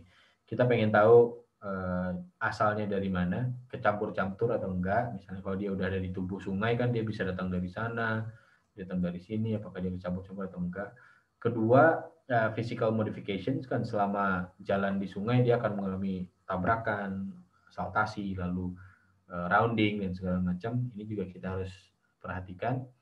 Lalu pada saat dia stay sementara dekat permukaan, kalau kena pelapukan kimia dia akan mengalami dekomposisi misalnya atau dia akan mengalami disintegrasi kalau pada saat dia ada pelapukan fisik situ. Nah ini semuanya kita bisa pakai sehingga kita punya rekaman dari endapan detektor yang lengkap. Jadi pada saat kita mengidentifikasi jenis-jenis mineralnya, pastikan kita juga mengetahui nih kalau dalam fosil namanya tafonomi kalau dalam mineral ya kita lihat tekstur dari mineralnya berarti itu uh, sortingnya seperti apa weatheringnya seperti apa nanti bisa lihat masing-masing ya um, um, tujuan utamanya adalah uh, provenance uh, terutama untuk bagian atau batuan-batuan yang nggak punya fosil gitu atau yang sudah ada fosil pun kita pengen tahu umur um, tepatnya seperti apa kita bisa lakukan itu.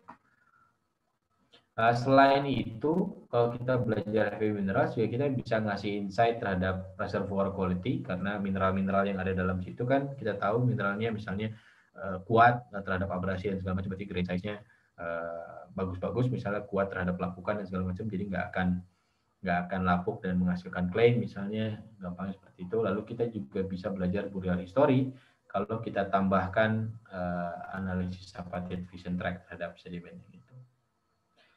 Sampelnya bisa diambil dari cutting, bisa dari core, bisa dari uh, sungai, um, atau sedimen gitu yang ada di sungai atau batuan sedimen itu kita hancurin.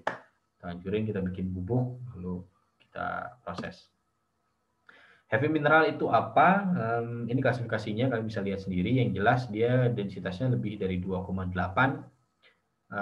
gram per sentimeter uh, kubik.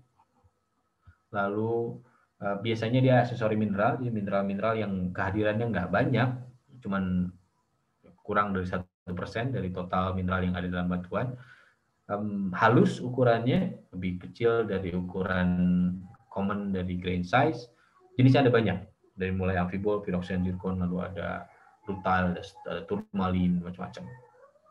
Um, gimana cara analisisnya? Ya kita bisa ngambil dari batu pasir atau dari sedimen atau dari core atau apa kita hancurkan, lalu kita saring nanti ada di depan kayaknya. Oh iya, kita hancurkan lalu kita saring lalu kita cuci supaya hilang uh, karbonnya. Kadang cucinya pakai asam gitu biar uh, karbon karbonatnya hilang atau yang bikin lindinya hilang semua, sisanya tinggal uh, fragmen yang uh, clean gitu. Nah, setelah udah dapat fragmen yang clean, nggak ada karbonatnya, um, pertama kita hancurkan tadi, ini crushing, kita hancur pakai jaw crusher sampai bubuk gitu, lalu kita sieve pakai ini kalian pasti sering lihat penyaring ini berbagai jenis mesh gitu ukurannya lalu dicuci sampai sangat bersih baru kita punya uh, hasil separasinya yang isinya adalah mineral-mineral yang clean tinggal dipisahkan tapi densitasnya masih nyatu nah Ketika sudah punya itu, kita taruh di dalam ini namanya Wilfley table.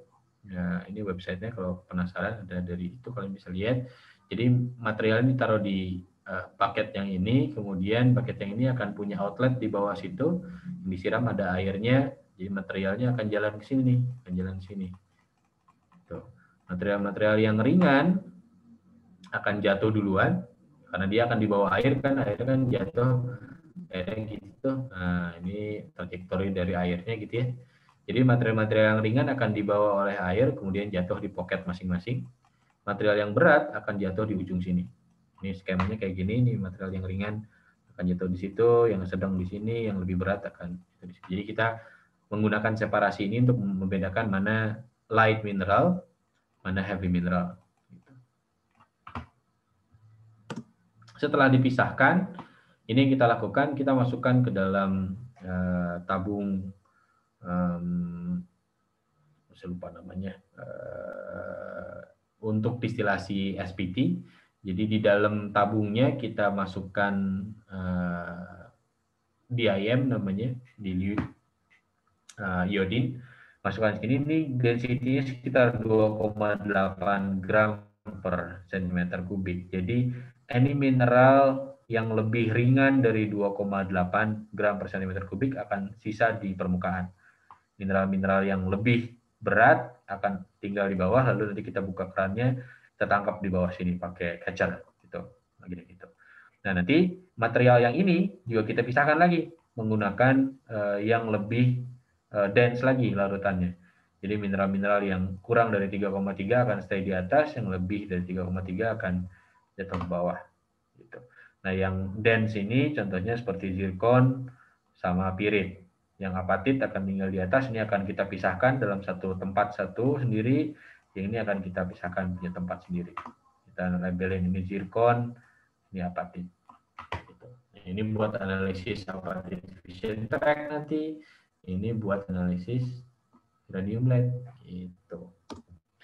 Setelah kita pisahkan, kadang-kadang masih ada sisanya. Misalnya masih material yang cukup berat kayak yang mengandung magnet gitu material yang magnetit uh, dia masih berat nah kita bisa pisahkan itu menggunakan Franz magnetic separator namanya jadi materialnya kita run di sini ada tabungnya kecil di kotak ini tabung kecil ini materialnya masukin situ lalu ada magnetic separator jadi dia bisa menggunakan uh, magnetic ada magnet dua ini magnet nih jadi mineralnya akan dijalanin ke situ tuh nih jalan sini mineral-mineral dengan magnetic susceptibility tertentu akan tempel pada magnetnya. Yang nggak ada magnetnya, dia akan jatuh ke catcher di situ. Nah, yang nggak ada magnetnya itu mineral-mineral yang kayak gini. Ada pirit, kuarsa, rutil, silimanit, zirkon, sama apatit. Dia akan misah sendiri. Ini contoh-contohnya mineral-mineralnya oh, cantik-cantik sekali warnanya. Ada kianit, ada astaurolit, ada silimanit, ada epidot, ada garnet. Ini zirkon yang kalian udah lihat sering tadi. Nah, ini juga zirkon lalu kita lihat ada turmalin, ada rutil, eh, ada turmalin yang lain. Gitu. Ini indah-indah sekali kalau di dalam sana. Lalu kita ngapain habis itu? Kita udah punya fraksi yang uh, zirkon, ada yang apatit. Lalu kita mount di dalam sebuah resin. uh, ditempel di sebuah uh, media itu taruh masuk di dalam resin resinnya supaya membeku lalu kita ambil resinnya kita masukkan ke either dua alat ini kita pakai laser ablations ICP-MS ini singkatannya inductively coupled mass spectrometer yang satu lagi SHRIM sensitive high resolution ion microprobe reverse geometry um, ini prinsipnya sama jadi ini adalah zirkonnya yang ada di dalam uh, resin tadi kita amplas sampai sangat tipis sehingga muka zirkonnya muncul ke permukaan. Jadi nanti kita bisa tembak pakai laser, kemudian uh, bagian yang ditembak itu akan terpanaskan, pulverize, akan hancur. Nah hasil dari tembakan itu akan diambil oleh mass spectrometer dan nanti diambil dilihat uh, radioaktifnya sisa berapa. Jadi yang PB-nya berapa, uh, uraniumnya berapa sisanya. Dengan prinsip yang sama, shrimp juga melakukan hal itu, tapi uh, shrimp menggunakan ion beam, jadi dia bisa lebih kecil. Kalau laser itu sekitar 25 uh, eh, nanometer uh, lebar dari tembakannya, ini bisa lebih halus dari 25 nanometer. Jadi bisa lebih banyak titik di dalam zircon. Tadi kan ingat ya, ada zircon yang ada banyak tuh si uh, apa namanya zoningnya atau ada yang zircon yang ada bundar di tengahnya, ada metamorf zirconing lalu ada zircon yang di luar yang bentuknya dari batuan beku. Nah, dengan menggunakan ion beams, karena sinar yang jauh lebih kecil, dia bisa ditembak banyak tempat. Jadi kita bisa dari satu zircon aja kita bisa dapat beberapa umur. Umur umur kristal yang paling luar, yang di tengah, sama yang di dalam. Ini pakai yang oke. Nah, tentu harganya jauh lebih mahal. Kalau yang pakai shrimp, uh, kalau nggak salah dulu nyewanya itu buat sampel, satu sampel itu sekitar 1000 dolar. Atau 1000 pound saya lupa. Sekitar segitulah untuk satu sampel. Tapi kalau pakai laser ablation size CPMS ini sewanya biasanya per hari sehari 300 pound kalau saya nggak salah. Jadi kalau kalian lebih eh, apa namanya lebih kalau kata orang Sunda lebih tarapti atau lebih teliti gitu untuk memberikan uh, naruh sampelnya yang benar analisis dengan baik itu dalam satu hari bisa analisis sekitar 3 atau 4 mount uh, zircon dalam situ. Ya tentu resolusinya atau yang dihasilkan akan berbeda kan. Tadi uh, laser ablation kan besar 25 nanometer yang ini lebih kecil. Jadi kalau misalnya di LA ICP-MS itu bisa menghasilkan hanya satu analisis misalnya karena zirconnya kecil tapi kalau di tempat shrimp nah ini bisa menghasilkan satu analisis satu zircon itu bisa ada banyak umurnya itu bedanya ya ada uang ada barang ya oke nah, prinsipnya itu ya ini zirconnya kita pakai karena zircon itu ultra stable, jadi sangat stabil, sangat kuat kena kena proses berulang-ulang kali pun dia masih oke okay, gitu. Lalu dia mengkristal di temperatur tinggi, artinya kita bisa menebak kira-kira meltnya tuh temperaturnya berapa. Jadi nggak terlalu jauh dari 1000 derajat Celcius kan, berarti kita tahu umurnya kira-kira berapa. Dan dia tidak bereaksi secara kimia dengan material yang lain, jadi secara kimia dia inert dan dia resisten terhadap mechanical weathering. Lalu pada temperatur yang uh, rendah, dia durable, dia kuat. Dia pada proses metamorphism kalau terjadi di situ dia kuat, dia bisa retain uh, geometrinya.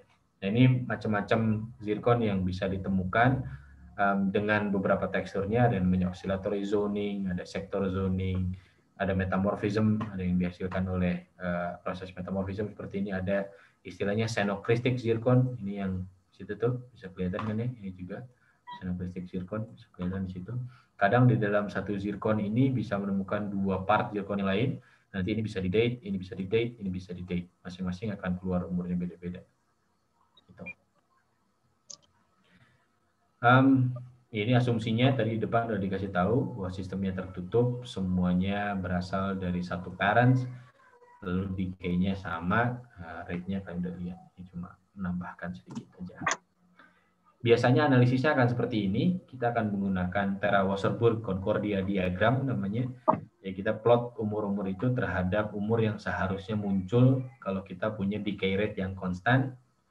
Nah, ini yang merah-merah ini adalah hasil analisisnya. Kalau dia merapat ke garis yang biru itu, berarti umurnya bisa dikonfirmasi dengan baik. Kalau dia jauh misalnya, nah biasanya mungkin sistemnya bocor pada saat itu atau zirkonnya pada saat dipreparasi dia pecah. Jadi uh, elemennya keluar gitu. Jadi atau misalnya di dalam zirkonnya tadinya memang udah udah banyak ada daughter isotop dibanding uh, parent isotop. Jadi hasilnya nggak terlalu bagus.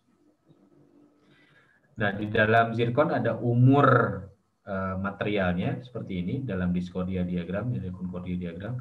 Ada umur yang tidak mengelompok di situ, tapi masih kita bisa lihat umurnya ini masih mengkluster bikin satu tempat yang lain gitu.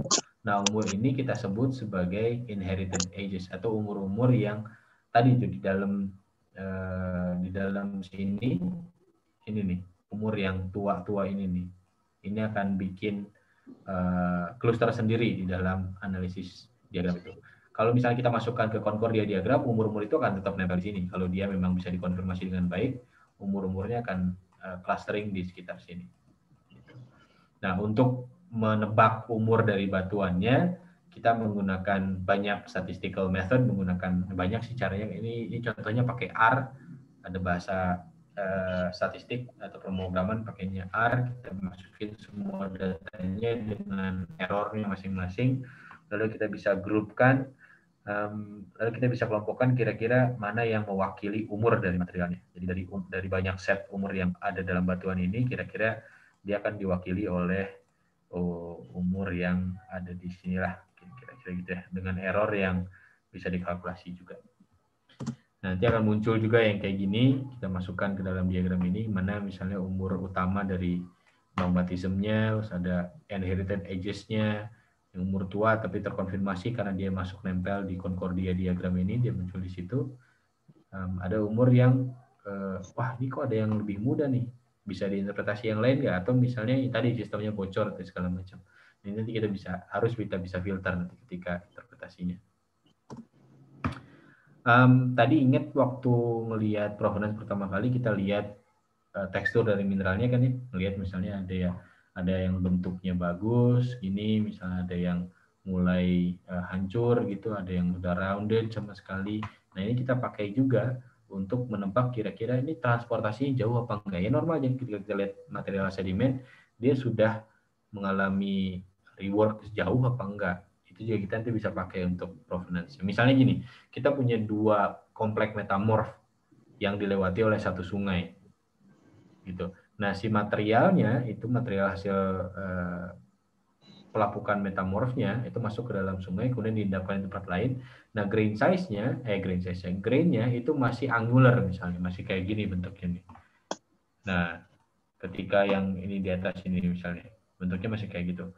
Dengan menggunakan degree of corrosion atau eh, tekstur dari mineralnya, kita bisa tebak ini kayaknya material ini sumbernya adalah batuan metamorf yang dekat ini, bukan dari batuan metamorf yang jauh. Nah, itu juga berguna untuk menentukan dari mana sumbernya. Kalau kita punya dua komplek batuan yang sama tapi berjauhan misalnya gitu. Nah, kita bisa lihat dari tekstur dari mineralnya. Oke, um, ini beberapa mineral tadi yang uh, kita udah pernah udah lihat di depan. Ini yang terkenal atau yang yang paling mudah dipakai ada zircon, ada turmalin, ada rutil, ada andalusit, ada garnet, ada chrome spinel, ada hyperstain, diopsid, sama apatit.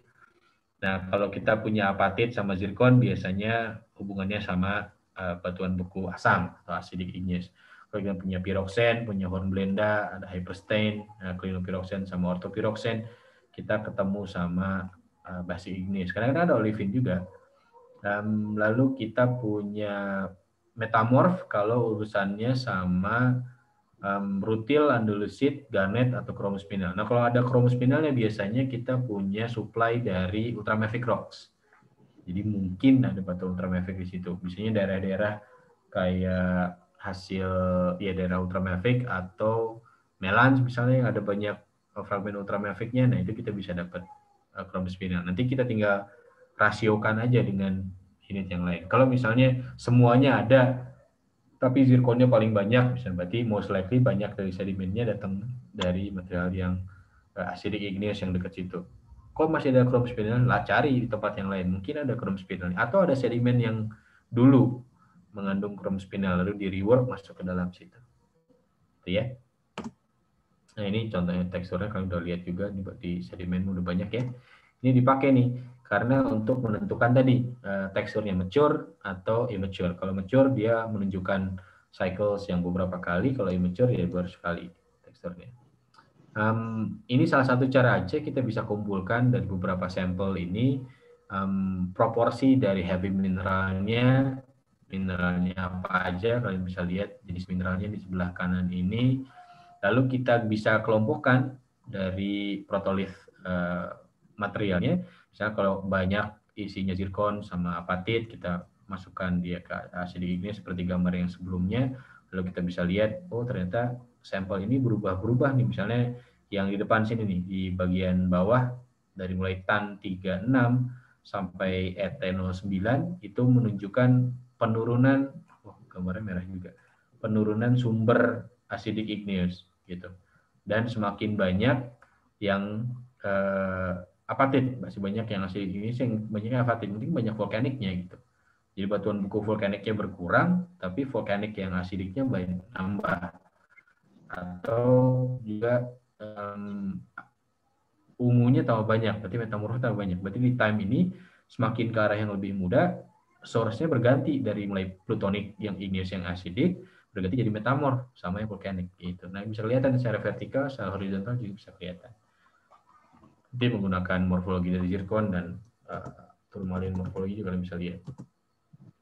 Yeah um, kalau dia rounded berarti udah multiple cycle kalau yang idiomorphic yang masih bentuknya angular ya berarti baru first cycle berarti yang di bawah ini masih baru first cycle yang ini udah di cycle kedua kali berarti material yang diendapkan di bawah sini mungkin udah muncul juga ke permukaan kemudian dierosi dierosi kembali dia masuk ke sedimen berikutnya karena jadi round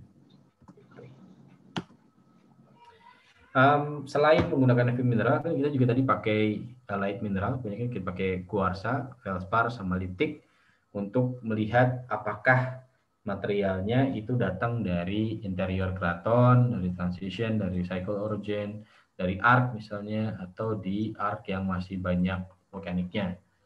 Nah, ini base plate berarti ada banyak kuarsa sama ya, feldsparnya. Dari menggunakan itu, diagram itu kita pakai juga uh, menggunakan kombinasi dari dua unit tadi. Ini yang light mineral yang sebelah kiri, yang heavy mineral yang sebelah kanan. Nah, menggunakan dua sejarah informasi ini, kita bisa nantinya bercerita tentang dari mana ini sumbernya. Digabung dengan, ini gambar ini udah, udah familiar berarti kan ya, gambar ini menggunakan uranium lead tadi, ada uranium uh, lead dating. Jadi dari batuan sedimen yang umurnya uh, Triasik ini semua batuan sedimen yang umurnya Triasik ternyata ada banyak fragmen yang datangnya dari Australia. Karena apa? Karena umurnya tua banget gitu. Umurnya 1,8 2 gigayear yang nggak mungkin ada di Indonesia gitu. Karena Indonesia kan baru muncul ke permukaan, bah, mungkin baru di Paleogen sana. Masih muda banget umurnya. Dan ini ada material yang datangnya dari situ. Gitu. Nah, dengan membandingkan unit-unit sedimen secara vertikal, kita bisa tahu pada time tertentu datangnya dari mana. Pada time berikutnya berubah nggak source-nya. Bisa dari selatan atau kadang-kadang berubah jadi utara. Nah, kayak gitu nanti dipakainya. Ini contohnya yang direkonstruksi oleh Zimmerman dan Hall. Oh, ini salah lagi. Ini Zimmerman dan Hall sebenarnya. Saya benerin di sini.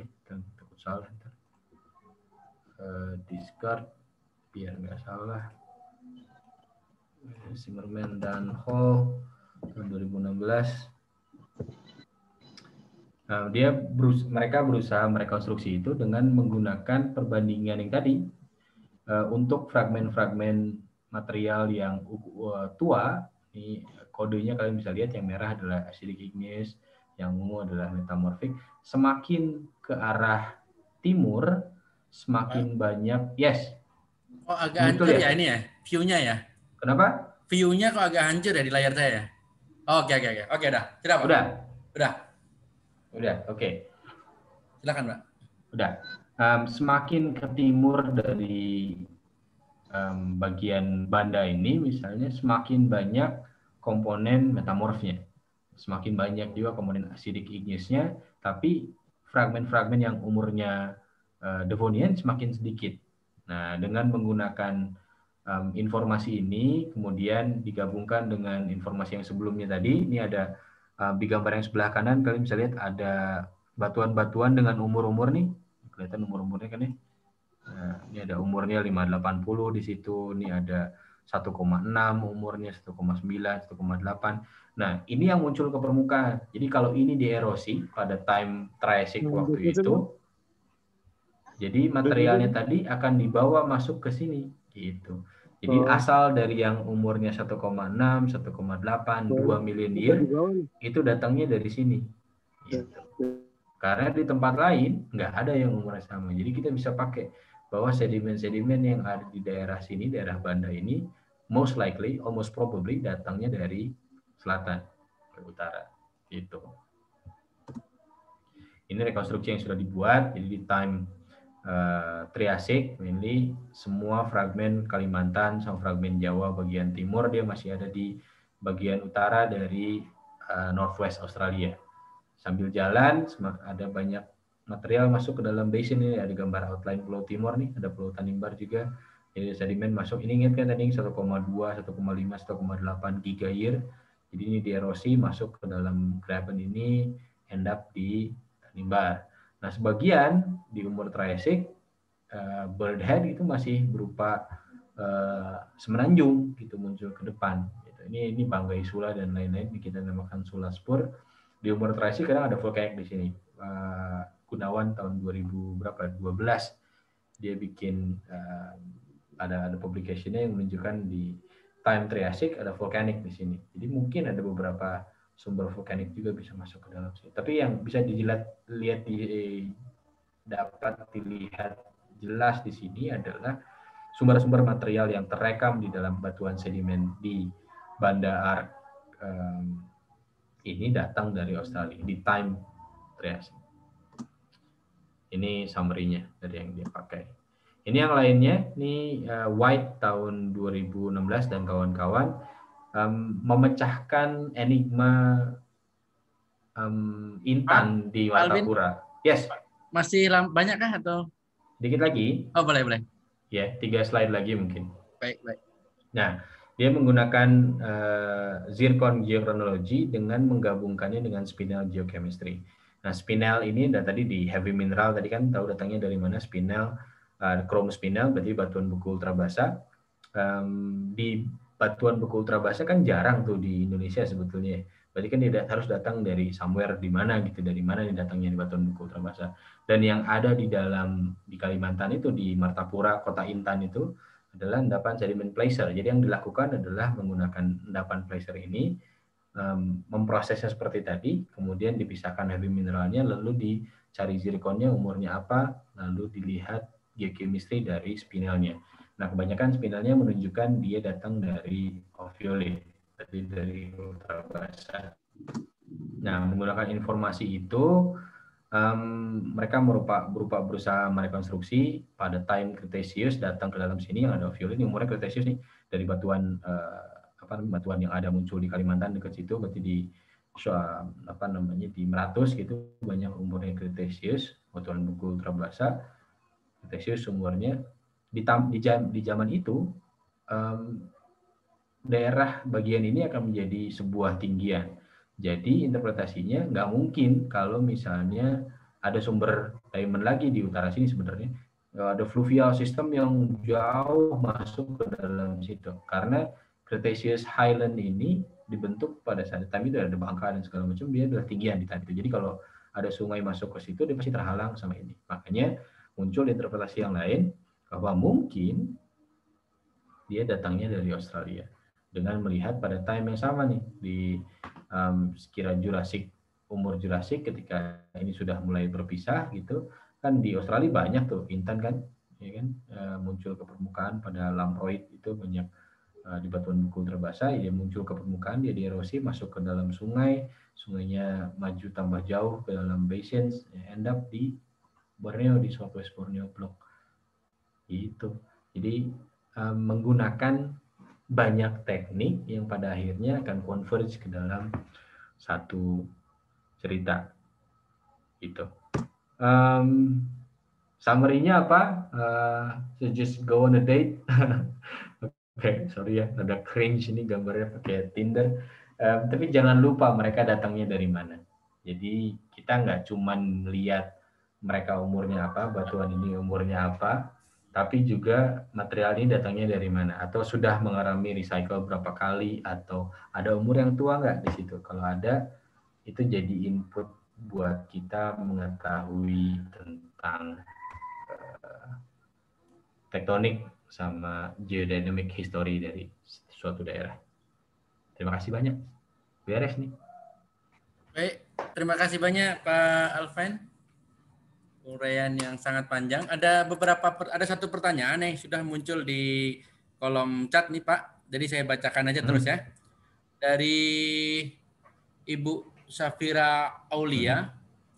Ingin menanyakan Assalamualaikum, terima kasih atas waktu yang diberikan. Ingin bertanya mengenai aplikasi dari provenance hmm.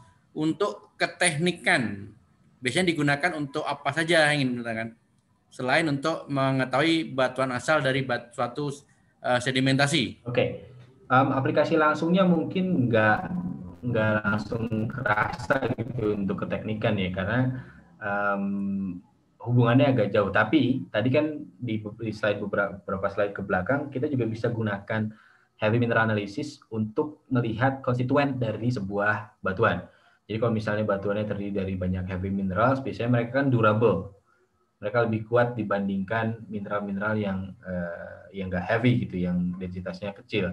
Jadi kalau misalnya mereka nggak durable, kalau misalnya kita punya porosity misalnya gitu ya uh, akan lebih gampang lapuk misalnya. Jadi kalau misalnya urusannya ke sana, mungkin kita akan bisa lihat material dengan banyak heavy mineral, most likely strength dari materialnya akan lebih tinggi dibanding material yang punya less uh, heavy minerals. Tapi nggak langsung tuh kan hubungannya jadi agak agak muter sedikit tapi hubungannya akan ke situ. Jadi nggak akan langsung ke, ke teknika baik itu pertanyaan. Mungkin ada yang ingin bertanya dari uh, bapak ibu atau para mahasiswa iya ada ada banyak teman saya nih kayaknya nih. Kalau tidak saya yang tanya nih. Oh siapa saya tutup lagi. Oke silakan. Baik baik. Saya ada beberapa nih pak. Tadi kan ada uh, ditampilkan tentang zircon ya, zircon hmm. yang umurnya 4,3 DE tadi ya. Hmm. Nah, itu kalau dari asumsi awal sekarang kan bumi 4,5 ya? Yes. Uh, ya, itu gimana tuh? Kaitannya tuh sinkronisasi ceritanya bagaimana ini? Oke. Okay. ada berarti, yang menarik. Iya, berarti material yang zircon tadi perlu diingat nih material yang zircon yang warnanya biru tadi, yang zircon dari Western Australia yang di depan tadi, perlu ditampilin lagi nggak gambarnya? Boleh, boleh, boleh. Boleh ya. Saya udah ketutup tadi, sorry. Um, coba munculkan lagi biar yang mungkin terlambat bisa lihat. Mana tadi? Ini ya. Nih, material ini adalah material detrital. Artinya dia hasil rework dari batuan yang sebelumnya.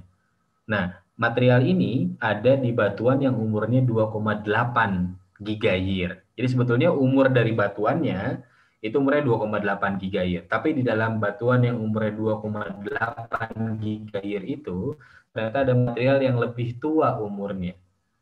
4,3 gigayear. Itu artinya berarti zaman 4,3 gigayear itu udah ada material yang terbentuk, kemudian dia muncul ke permukaan, lalu dierosi masuk ke dalam batuan yang umurnya 2,8 gigayear. Jadi ya kalau dalam time frame-nya bumi ya masih masuk berarti kan ini adalah material yang paling tua yang kita bisa date di dalam uh, sistem ya di dalam geologi gitu ya ini yang, yang paling tua. Ada lagi yang yang umurnya mendekati sekitar 3,7, 3,2 eh 2,7 atau 2,8 itu tapi gneiss material itu ada di Kanada namanya Akasta Akasta gneiss. Nah, tahu kalau gneiss itu kan batu metamorf ya.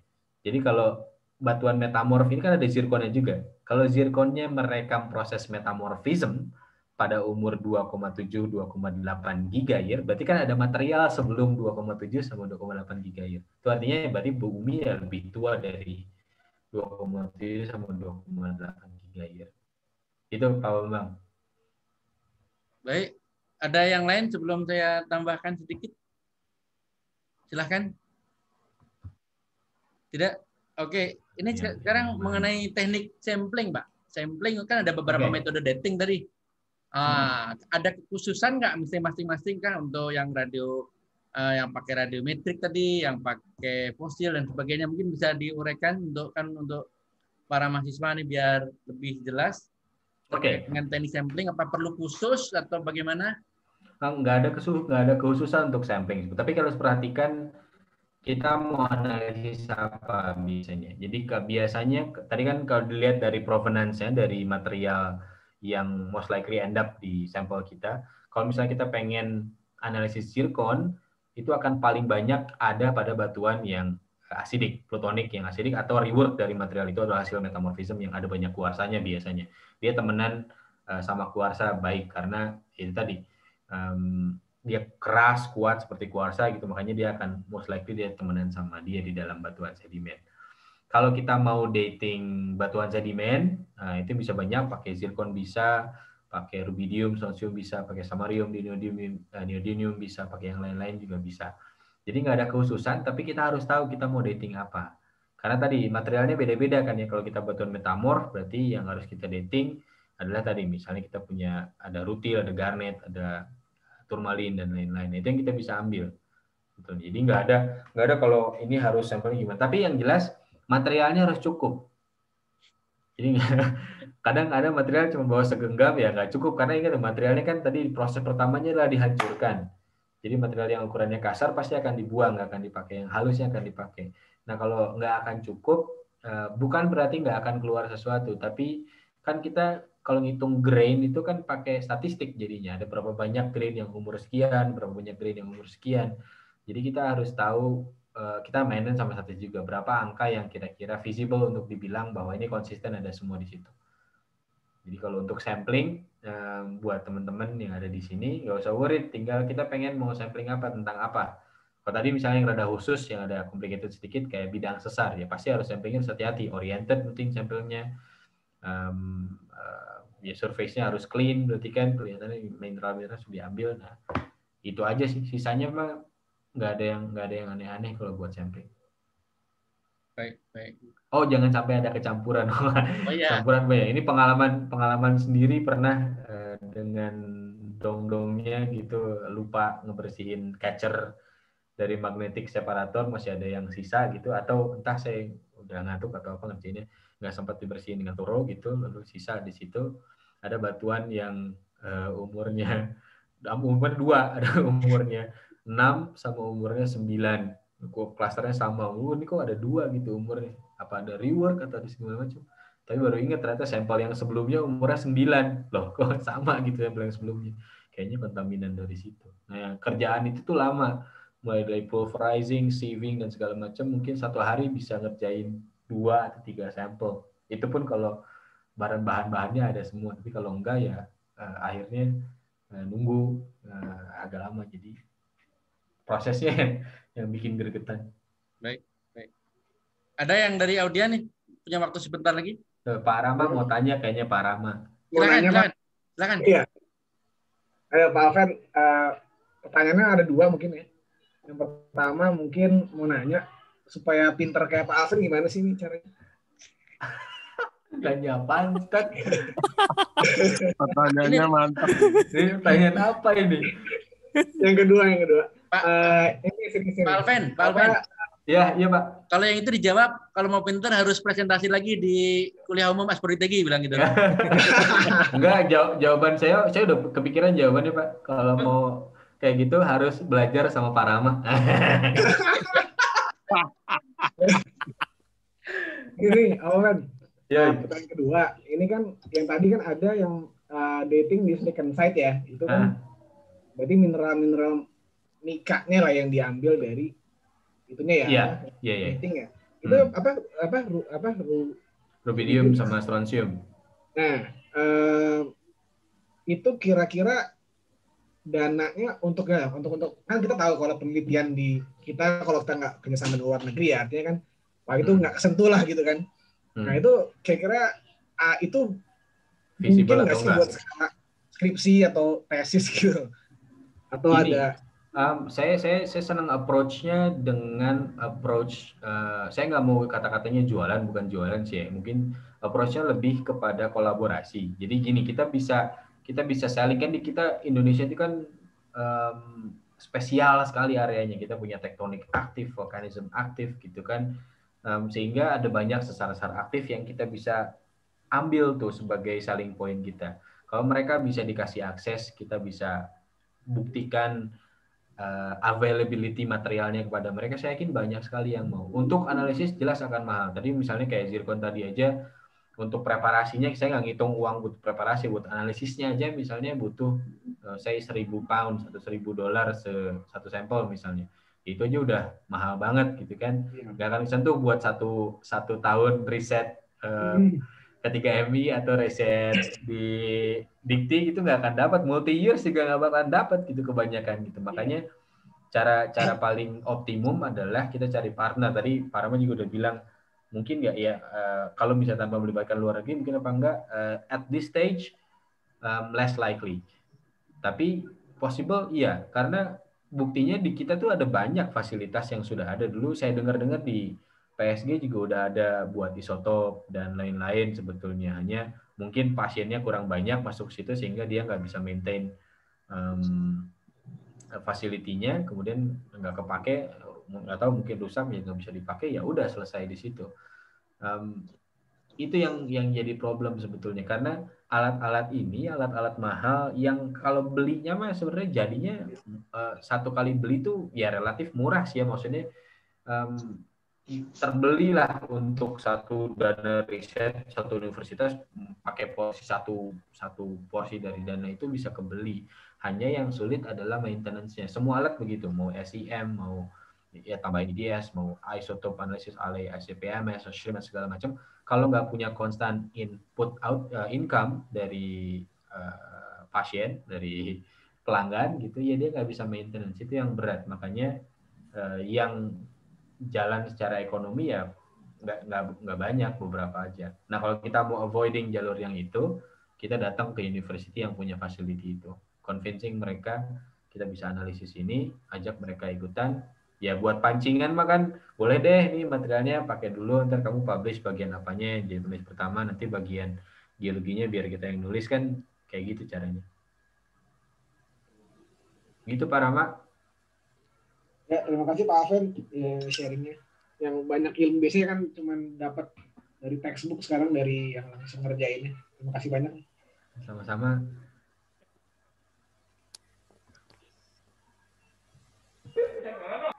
di mute Pak Bambang.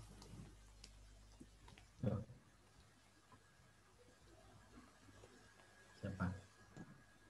Banyak banyak Bambang. Iyalah, teman-teman Alvin semua itu. ada Novi, ada Mira, ada eh tapi ada profil drum saya lihat tadi. Oh iya, iya. ada profil drum. Ada profil drum sama Buaton. Uh, bu buatan buatan masih ingat iya, sama iya. saya buatan Oh masih ingat Mas Alfred. buatan buatan teman ngeceng di petrografi di zaman dulu. Ah. oh iya nih mumpung ini Pak Mas Alfred ya. ada yang mau saya tanyakan nih. Kebetulan oh. kan saya baca di apa tuh yang papernya Robert Hall ya hmm. terkait yang uh, Sundaland. Di situ kan dia ngambil sampelnya di sepanjang pantai saja tuh pengambilan sampel hmm. zircon yang pantai Bayah. Ternyata itu kan source-nya tuh macam-macam ya. Hmm saya lihat itu umurnya beda-beda gitu. Nah, kebetulan saya mau meneliti yang ke arah misalkan Bayah ya, di situ hmm. kebetulan ada metamorf juga nih Mas Alfred. Hmm. Kalau untuk pengambilan sampel zirkon, kebetulan banyak metafelit di situ, ada granit juga. Hmm. Itu teknik pengambilan samplingnya gimana ya, Mas Alfred? Uh, nanti kebetulan saya kan harus ambil sampel yang dari apa aluvial juga dari sungai untuk membandingkan hmm. dengan di uh, batuan granitnya dan juga di uh, metapelitnya gitu. Hmm. Nah itu bagaimana uh, sem, uh, prosedur teknik samplingnya seperti apa nih Mas Alfred? Kalau kalau sampling nggak ada yang spesial buatan mau sampling asal sampelnya nggak kena kontaminasi itu udah aman deh. Kayak di sungai itu baiknya kalau sampling di sungai ya yang fraksinya halus biasanya biar nggak usah banyak di saring lagi nantinya gitu. Kalau yang granit kan dia nggak akan kena kontaminasi ya singkapan itu kita ambil aja asalkan cukup gitu. Nah hmm. hanya buat yang metapilite sini yang agak repot karena kan uh, dia asalnya dari uh, fine grain rocks gitu ya.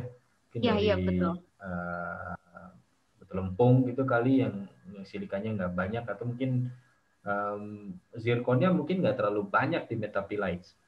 Yang iya, banyak mungkin material yang lain kayak ah, mungkin nggak nggak akan terlalu banyak sih saya bayangin. Tapi bisa aja karena uh, tahun 2000 berapa tuh 2015 ya, 2016 saya pernah baca publikasi ada saintis uh, segrup saintis yang ada di China.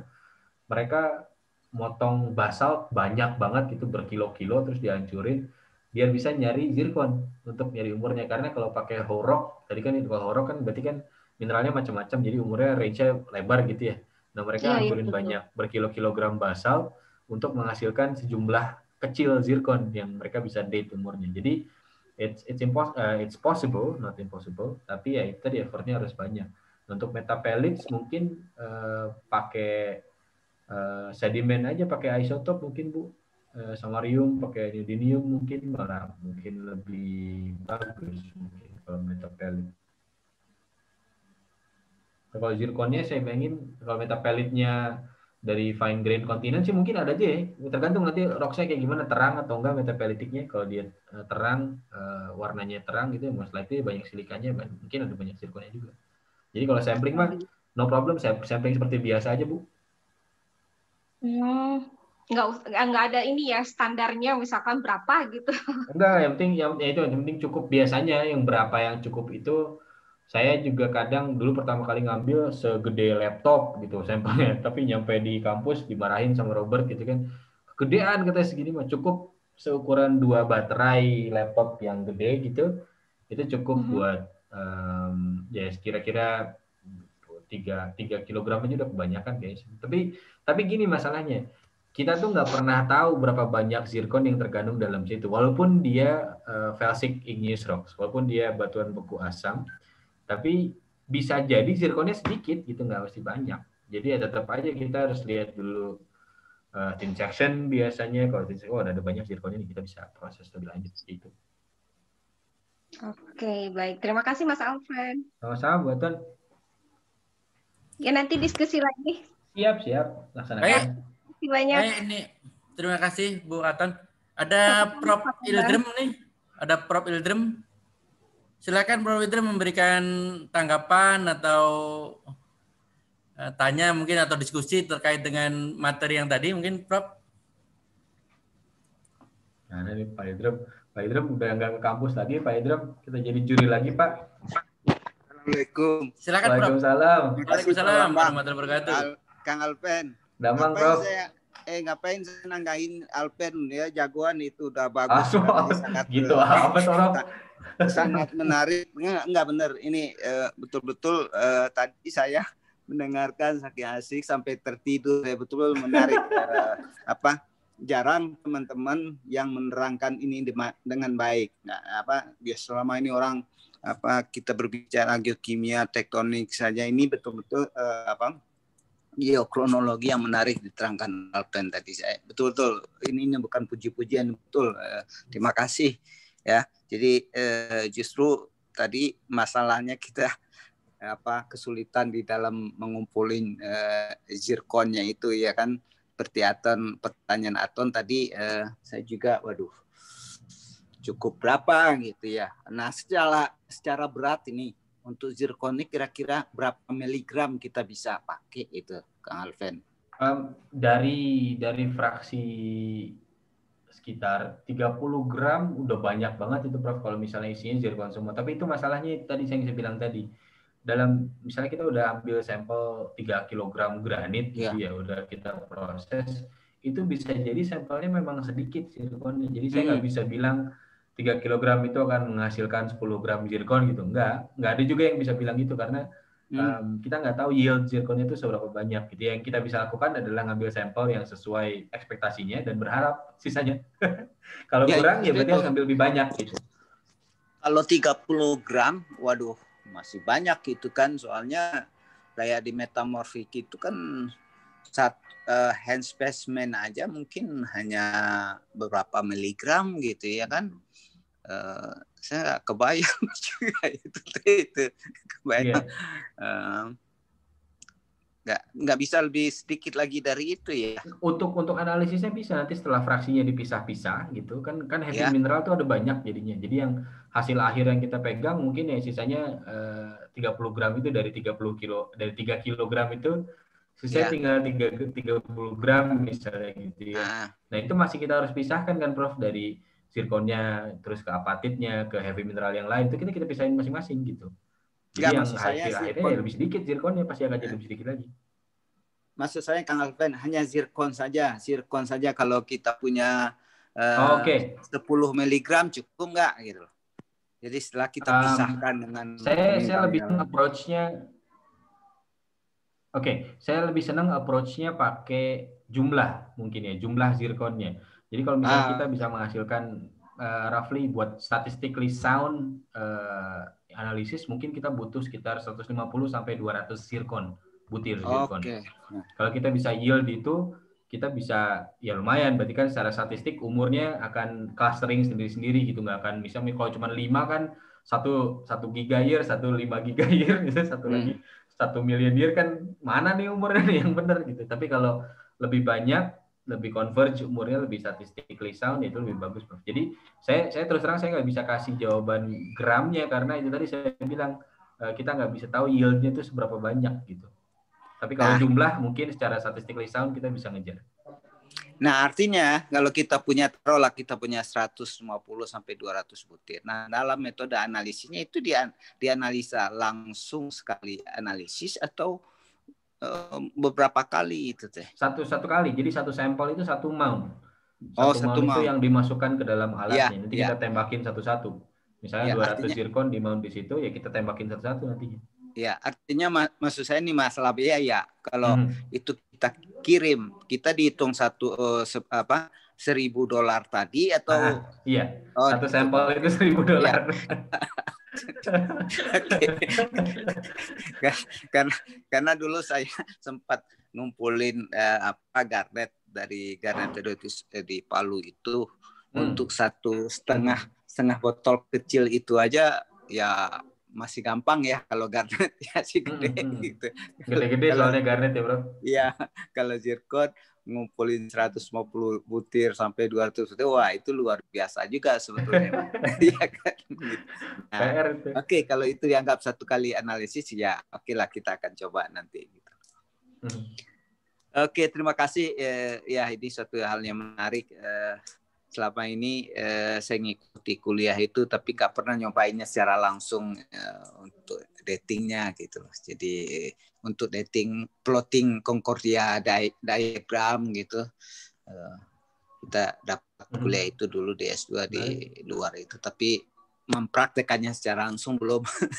Jadi terima kasih Iya. eh, ininya Saya juga, materinya. seru juga, Prof. Mm-mm, ya, jadi dari cerita Anda dan baca-baca paper juga seru juga. Jadi dari paper tadi Anda jelaskan dengan semakin enak gitu loh. Jadi kalau enggak bingung, bingung juga. tadi Anda betul-betul enak apa Prof. menjelaskan. Terima kasih ya, Alvin ya. Sekali lagi betul. Terima kasih. Pak Bambang, terima kasih. Satu hal kuliah yang sangat menarik. Baik, Bro. Terima kasih banyak atas tanggapannya dan masukannya juga tadi. Diskusi yang memberikan wacana baru juga untuk kita.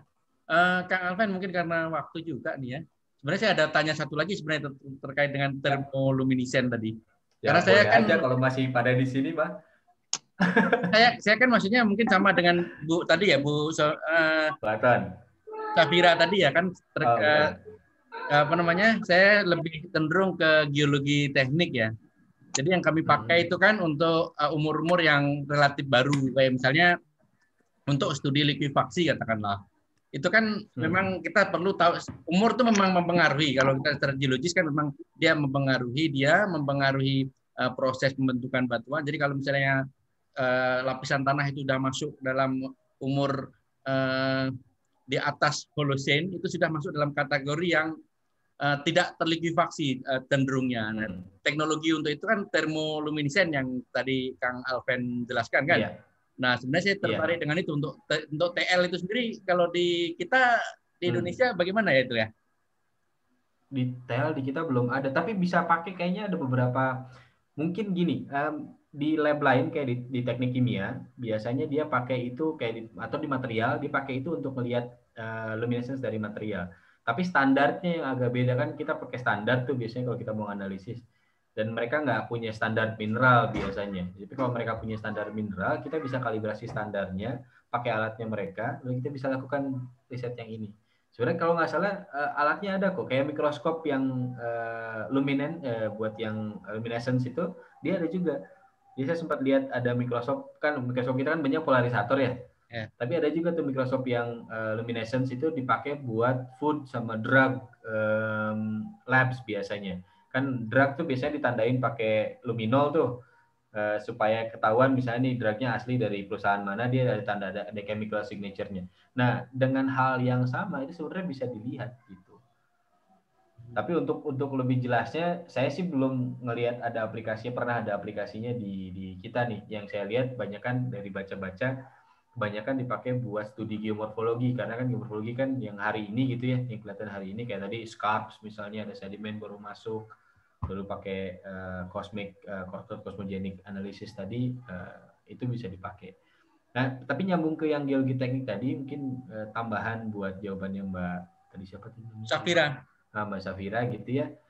Selain jenis materialnya akan dipengaruhi oleh uh, mineral dari yang heavy mineral, kita juga bisa belajar tentang paleo environment sebenarnya. Kan uh, geologis kadang uh, bukan kadang, kita harusnya juga bisa tahu sejarah area itu tuh seperti apa.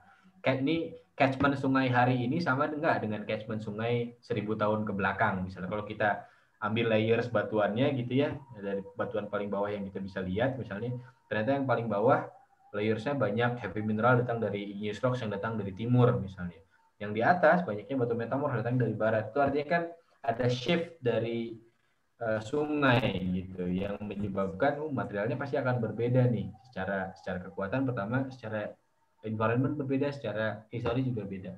Nah mungkin itu akan berpengaruh terhadap aspek geologi tekniknya nanti gitu.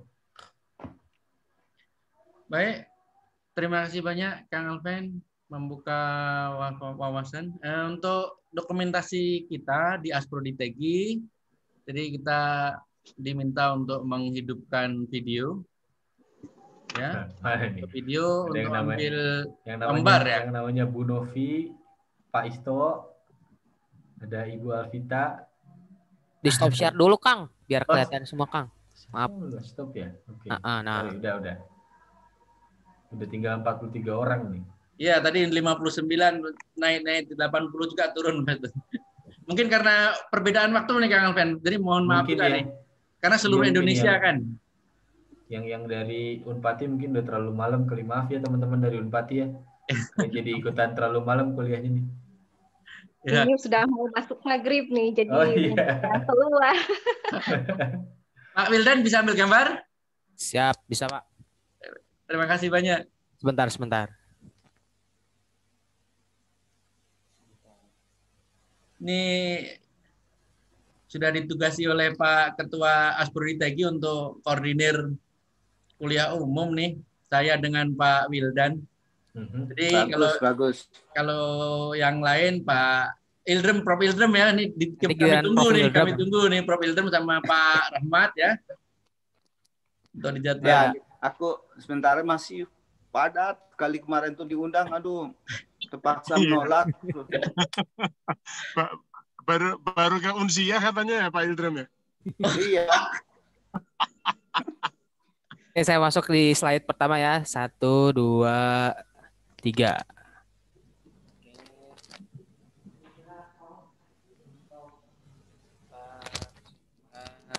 Maaf, maaf, sebentar.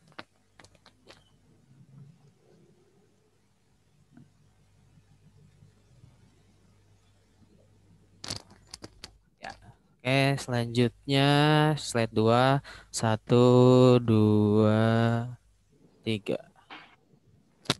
Saya mau slide 1 kayaknya. Tahu nih slide yang mana. Eh, sip. Dah. Kasih.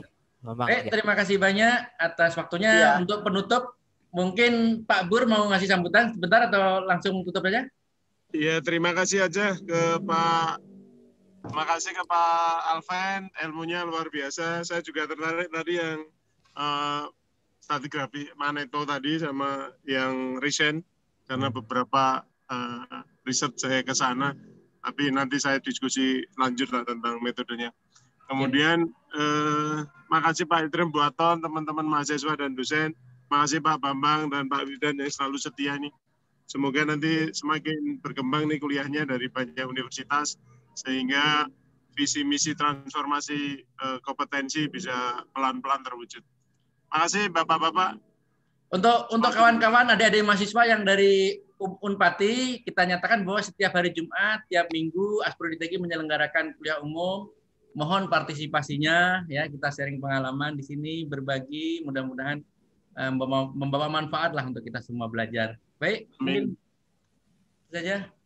Terima kasih Prof. Idram, terima kasih Pak Bur. Terima kasih banyak semua. Terima kasih Pak Ahmad, kami tunggu. Pak Burhan, Kang Alfred. Terima kasih banyak. Prof. Ildram, matur nuhun. Wildan, ya, terima kasih. Ya, Pak. Ildram juga.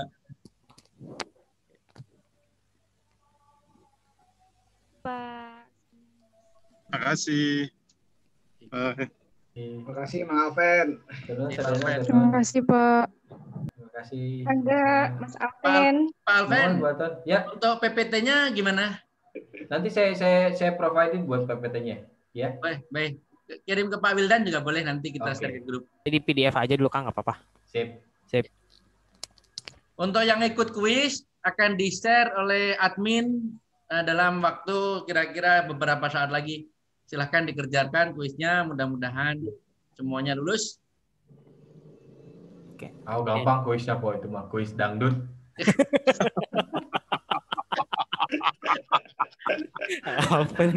Kuis boleh. Ternyata lucu juga ini Pak Alvin ya. Wah, luar biasa Pak Burhan dia mah. Cocok juga seneng aku. Bimbingan ngelawak mulu ya, nggak? Kirain orangnya serius. Tuh Dulu cuma cuma lihat-lihat aja. Biasanya orang yang kayak gitu tuh hancur semua, Pak.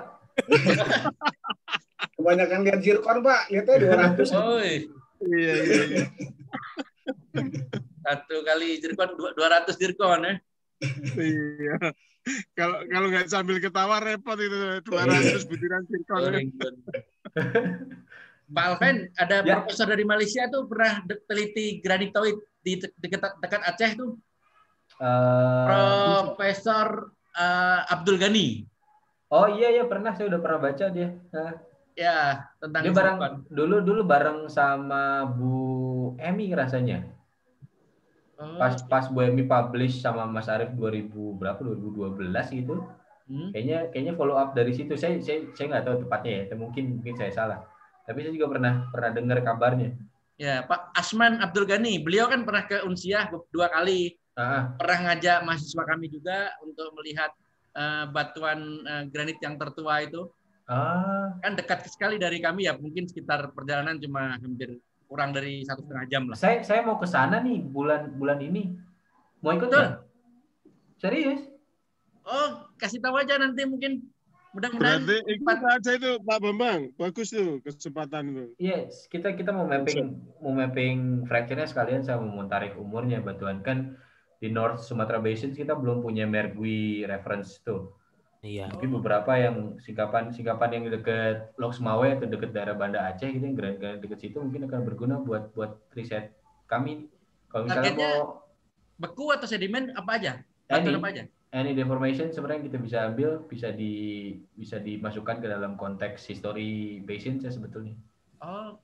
Ya mau, mau granitnya kalau memang granitnya ada, ya itu jadi jadi jadi priority Pak Bambang. baik, baik, baik.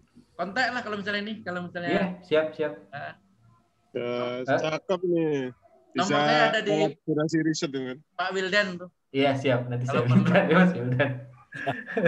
saya biasanya dulu dulu sempat kontak-kontak Pak Gartika. Oh iya, Pak Kartika sedang kuliah. Ah, tapi akhir-akhir ini kayaknya beliau sibuk, jadi entah kontak saya nggak nggak dibalas-balas. Jadi ya akhirnya mutung sendiri, saya jalan sendiri aja. Ya itu sekarang kajurnya Pak Bambang ini, Mas. Ah iya siap laksanakan gitu. Kajurnya TG Unsia Pak eh, Pak Bambang. Lungsuran, siap. lungsurannya, lungsurannya. Keren. Iya dulu saya seringnya sama Pak Gartika dulu ya. Betul, betul, Gitu kan, betul, betul. betul. Ya. Pak Kartika kan dengan Prof Edi sekarang Bu Aton. Oh gitu. Uh, sedang S3. Iya, iya. Pak, Pak Billy dan Prof Edi kalau nggak salah. Hmm. Di Unsiahnya. Ah, Edi Unpadnya. Unpad ya. Hmm. Baru mulai Kok jarang kemarin. ketemu ya? Dari mulai kapan, Pak? Kan Bu Aton sibuk. Ush. Ah, enggak. 2017 18. Oh, jarang ketemu ya. Mudah-mudahan apalagi sekarang pandemi nggak ketemu nih. yeah, eh, Mas yeah. Alvin nggak usah jauh-jauh penelitiannya Pak, Mas Alvin. Di boleh, boleh itu. ikutan nggak saya nih? Bisa kolaborasi. Iya boleh, kalau boleh ikutan saya mau bagian jalan-jalan. Hayu, hayu tuh. serius ini, kalau serius saya jalan di besok nih. Eh kan kebetulan yang itu, yang granit bayah kan eh, ada beberapa yang sudah di geokimia itu ternyata protolitnya kan ada dua source, ada yang dari E-type sama S-type tuh, Mas hmm. Alven. Nah itu kan apakah uh, tentunya nanti umurnya apa namanya? Uh, kalau misalkan ada dua tipe itu kemungkinan umurnya bisa berbeda juga enggak? Bisa Mas beda, iya. Tapi gitu. tapi itu dari dua sampel yang beda. Dari sampel yang berbeda. Uh, tapi bisa nggak ada hubungannya sama sekali sih kalau lihat dari pengalaman dan beberapa publikasi bisa jadi bisa jadi umurnya beda karena satu kan uh, yang satu kan dari sedimen gitu ya. kontinen ya? gitu ya uh-huh. continental melt gitu nggak mesti dari atau dari sedimen beneran tapi bisa dari ya. bagian bawahnya kontinen kan buat uh, betul ya satunya lagi dari melt uh, mental wedge gitu ya mungkin juga ada ya. beda umurnya tapi biasanya yang I-type kan kalau misalnya prosesnya menerus yang I-type itu kan uh-huh. melt duluan tuh Iya dia akan naik ke bagian kerak bagian bawah, terus manasin kerak bagian bawah, baru bikin melt baru, memanasin kerak bagian bawah. Jadi S-type itu. Jadi S-type-nya pasti akan lebih mudah kalau sistemnya gitu. Kalau satu satu satu plumbing sistem dari mulai partial melting naik ke lower crust, kemudian dari situ bikin melt baru naik ke atas. Tapi kalau misalnya ternyata sistemnya beda, umurnya bisa sama, bisa lebih tua yang S-type-nya gitu. Ya, itu menarik belum di ini nih, Mas Alven, umurnya. Hmm, tapi Nanti udah ada sampelnya berarti. Oh, sampel ada. Hmm. Bukannya buatan lu yang mau neliti. Enggak kebetulan aja satu ini, Pak. Sambil lewat. Sekalian, oh. sekalian buat disertasinya kan?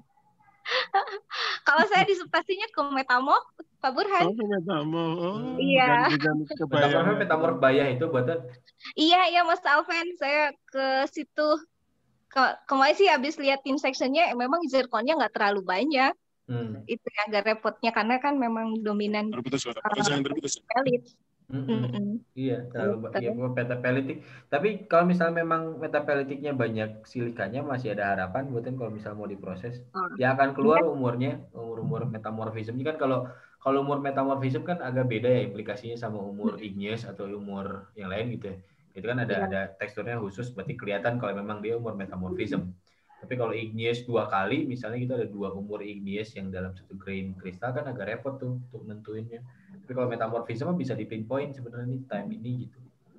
Hmm, walaupun, nah itu, walaupun ada sedikit ya, maksudnya sedikit itu ya, yang masih bunyi lah 50 atau berapa gitu. Ya itu teknik samplingnya nih Mas Alven yang uh, saya kurang tahu gitu, soalnya belum pernah kan. Itulah saya tadi juga penasaran apakah maksudnya kalau misalnya ini apakah ada kecenderungan dengan mineral tertentu atau harus ngambil yang tengahnya gitu kan? Untuk teknik sampling tadi makanya saya tanya uh. khusus harus agar dapatkan zircon yang optimal bagaimana gitu pengalaman dari Pak Alven kan nggak nggak ada nggak ada, ada ya? caranya ya? beneran oh, karena ada. karena satu halus kan kita pasti nggak bisa lihat di lapangan terus dia paling asosiasi Samplingnya kayak sampling fosil sampling aja. Biasa, sampling halus biasa itu. aja pak. Hmm. Cari yang halus itu ya. Sampling Tapi biasa ya. aja. Uh, kayak akan uh, silika biasanya temenannya karena kalau dia kan dia uh, kuat tuh mineralnya. Jadi memang temenannya sama mineral yang kuat-kuat biasanya. Nah, ngambil sampelnya ya ngambil sampel seperti biasa gitu. Karena kita nggak bisa kelihatan beneran.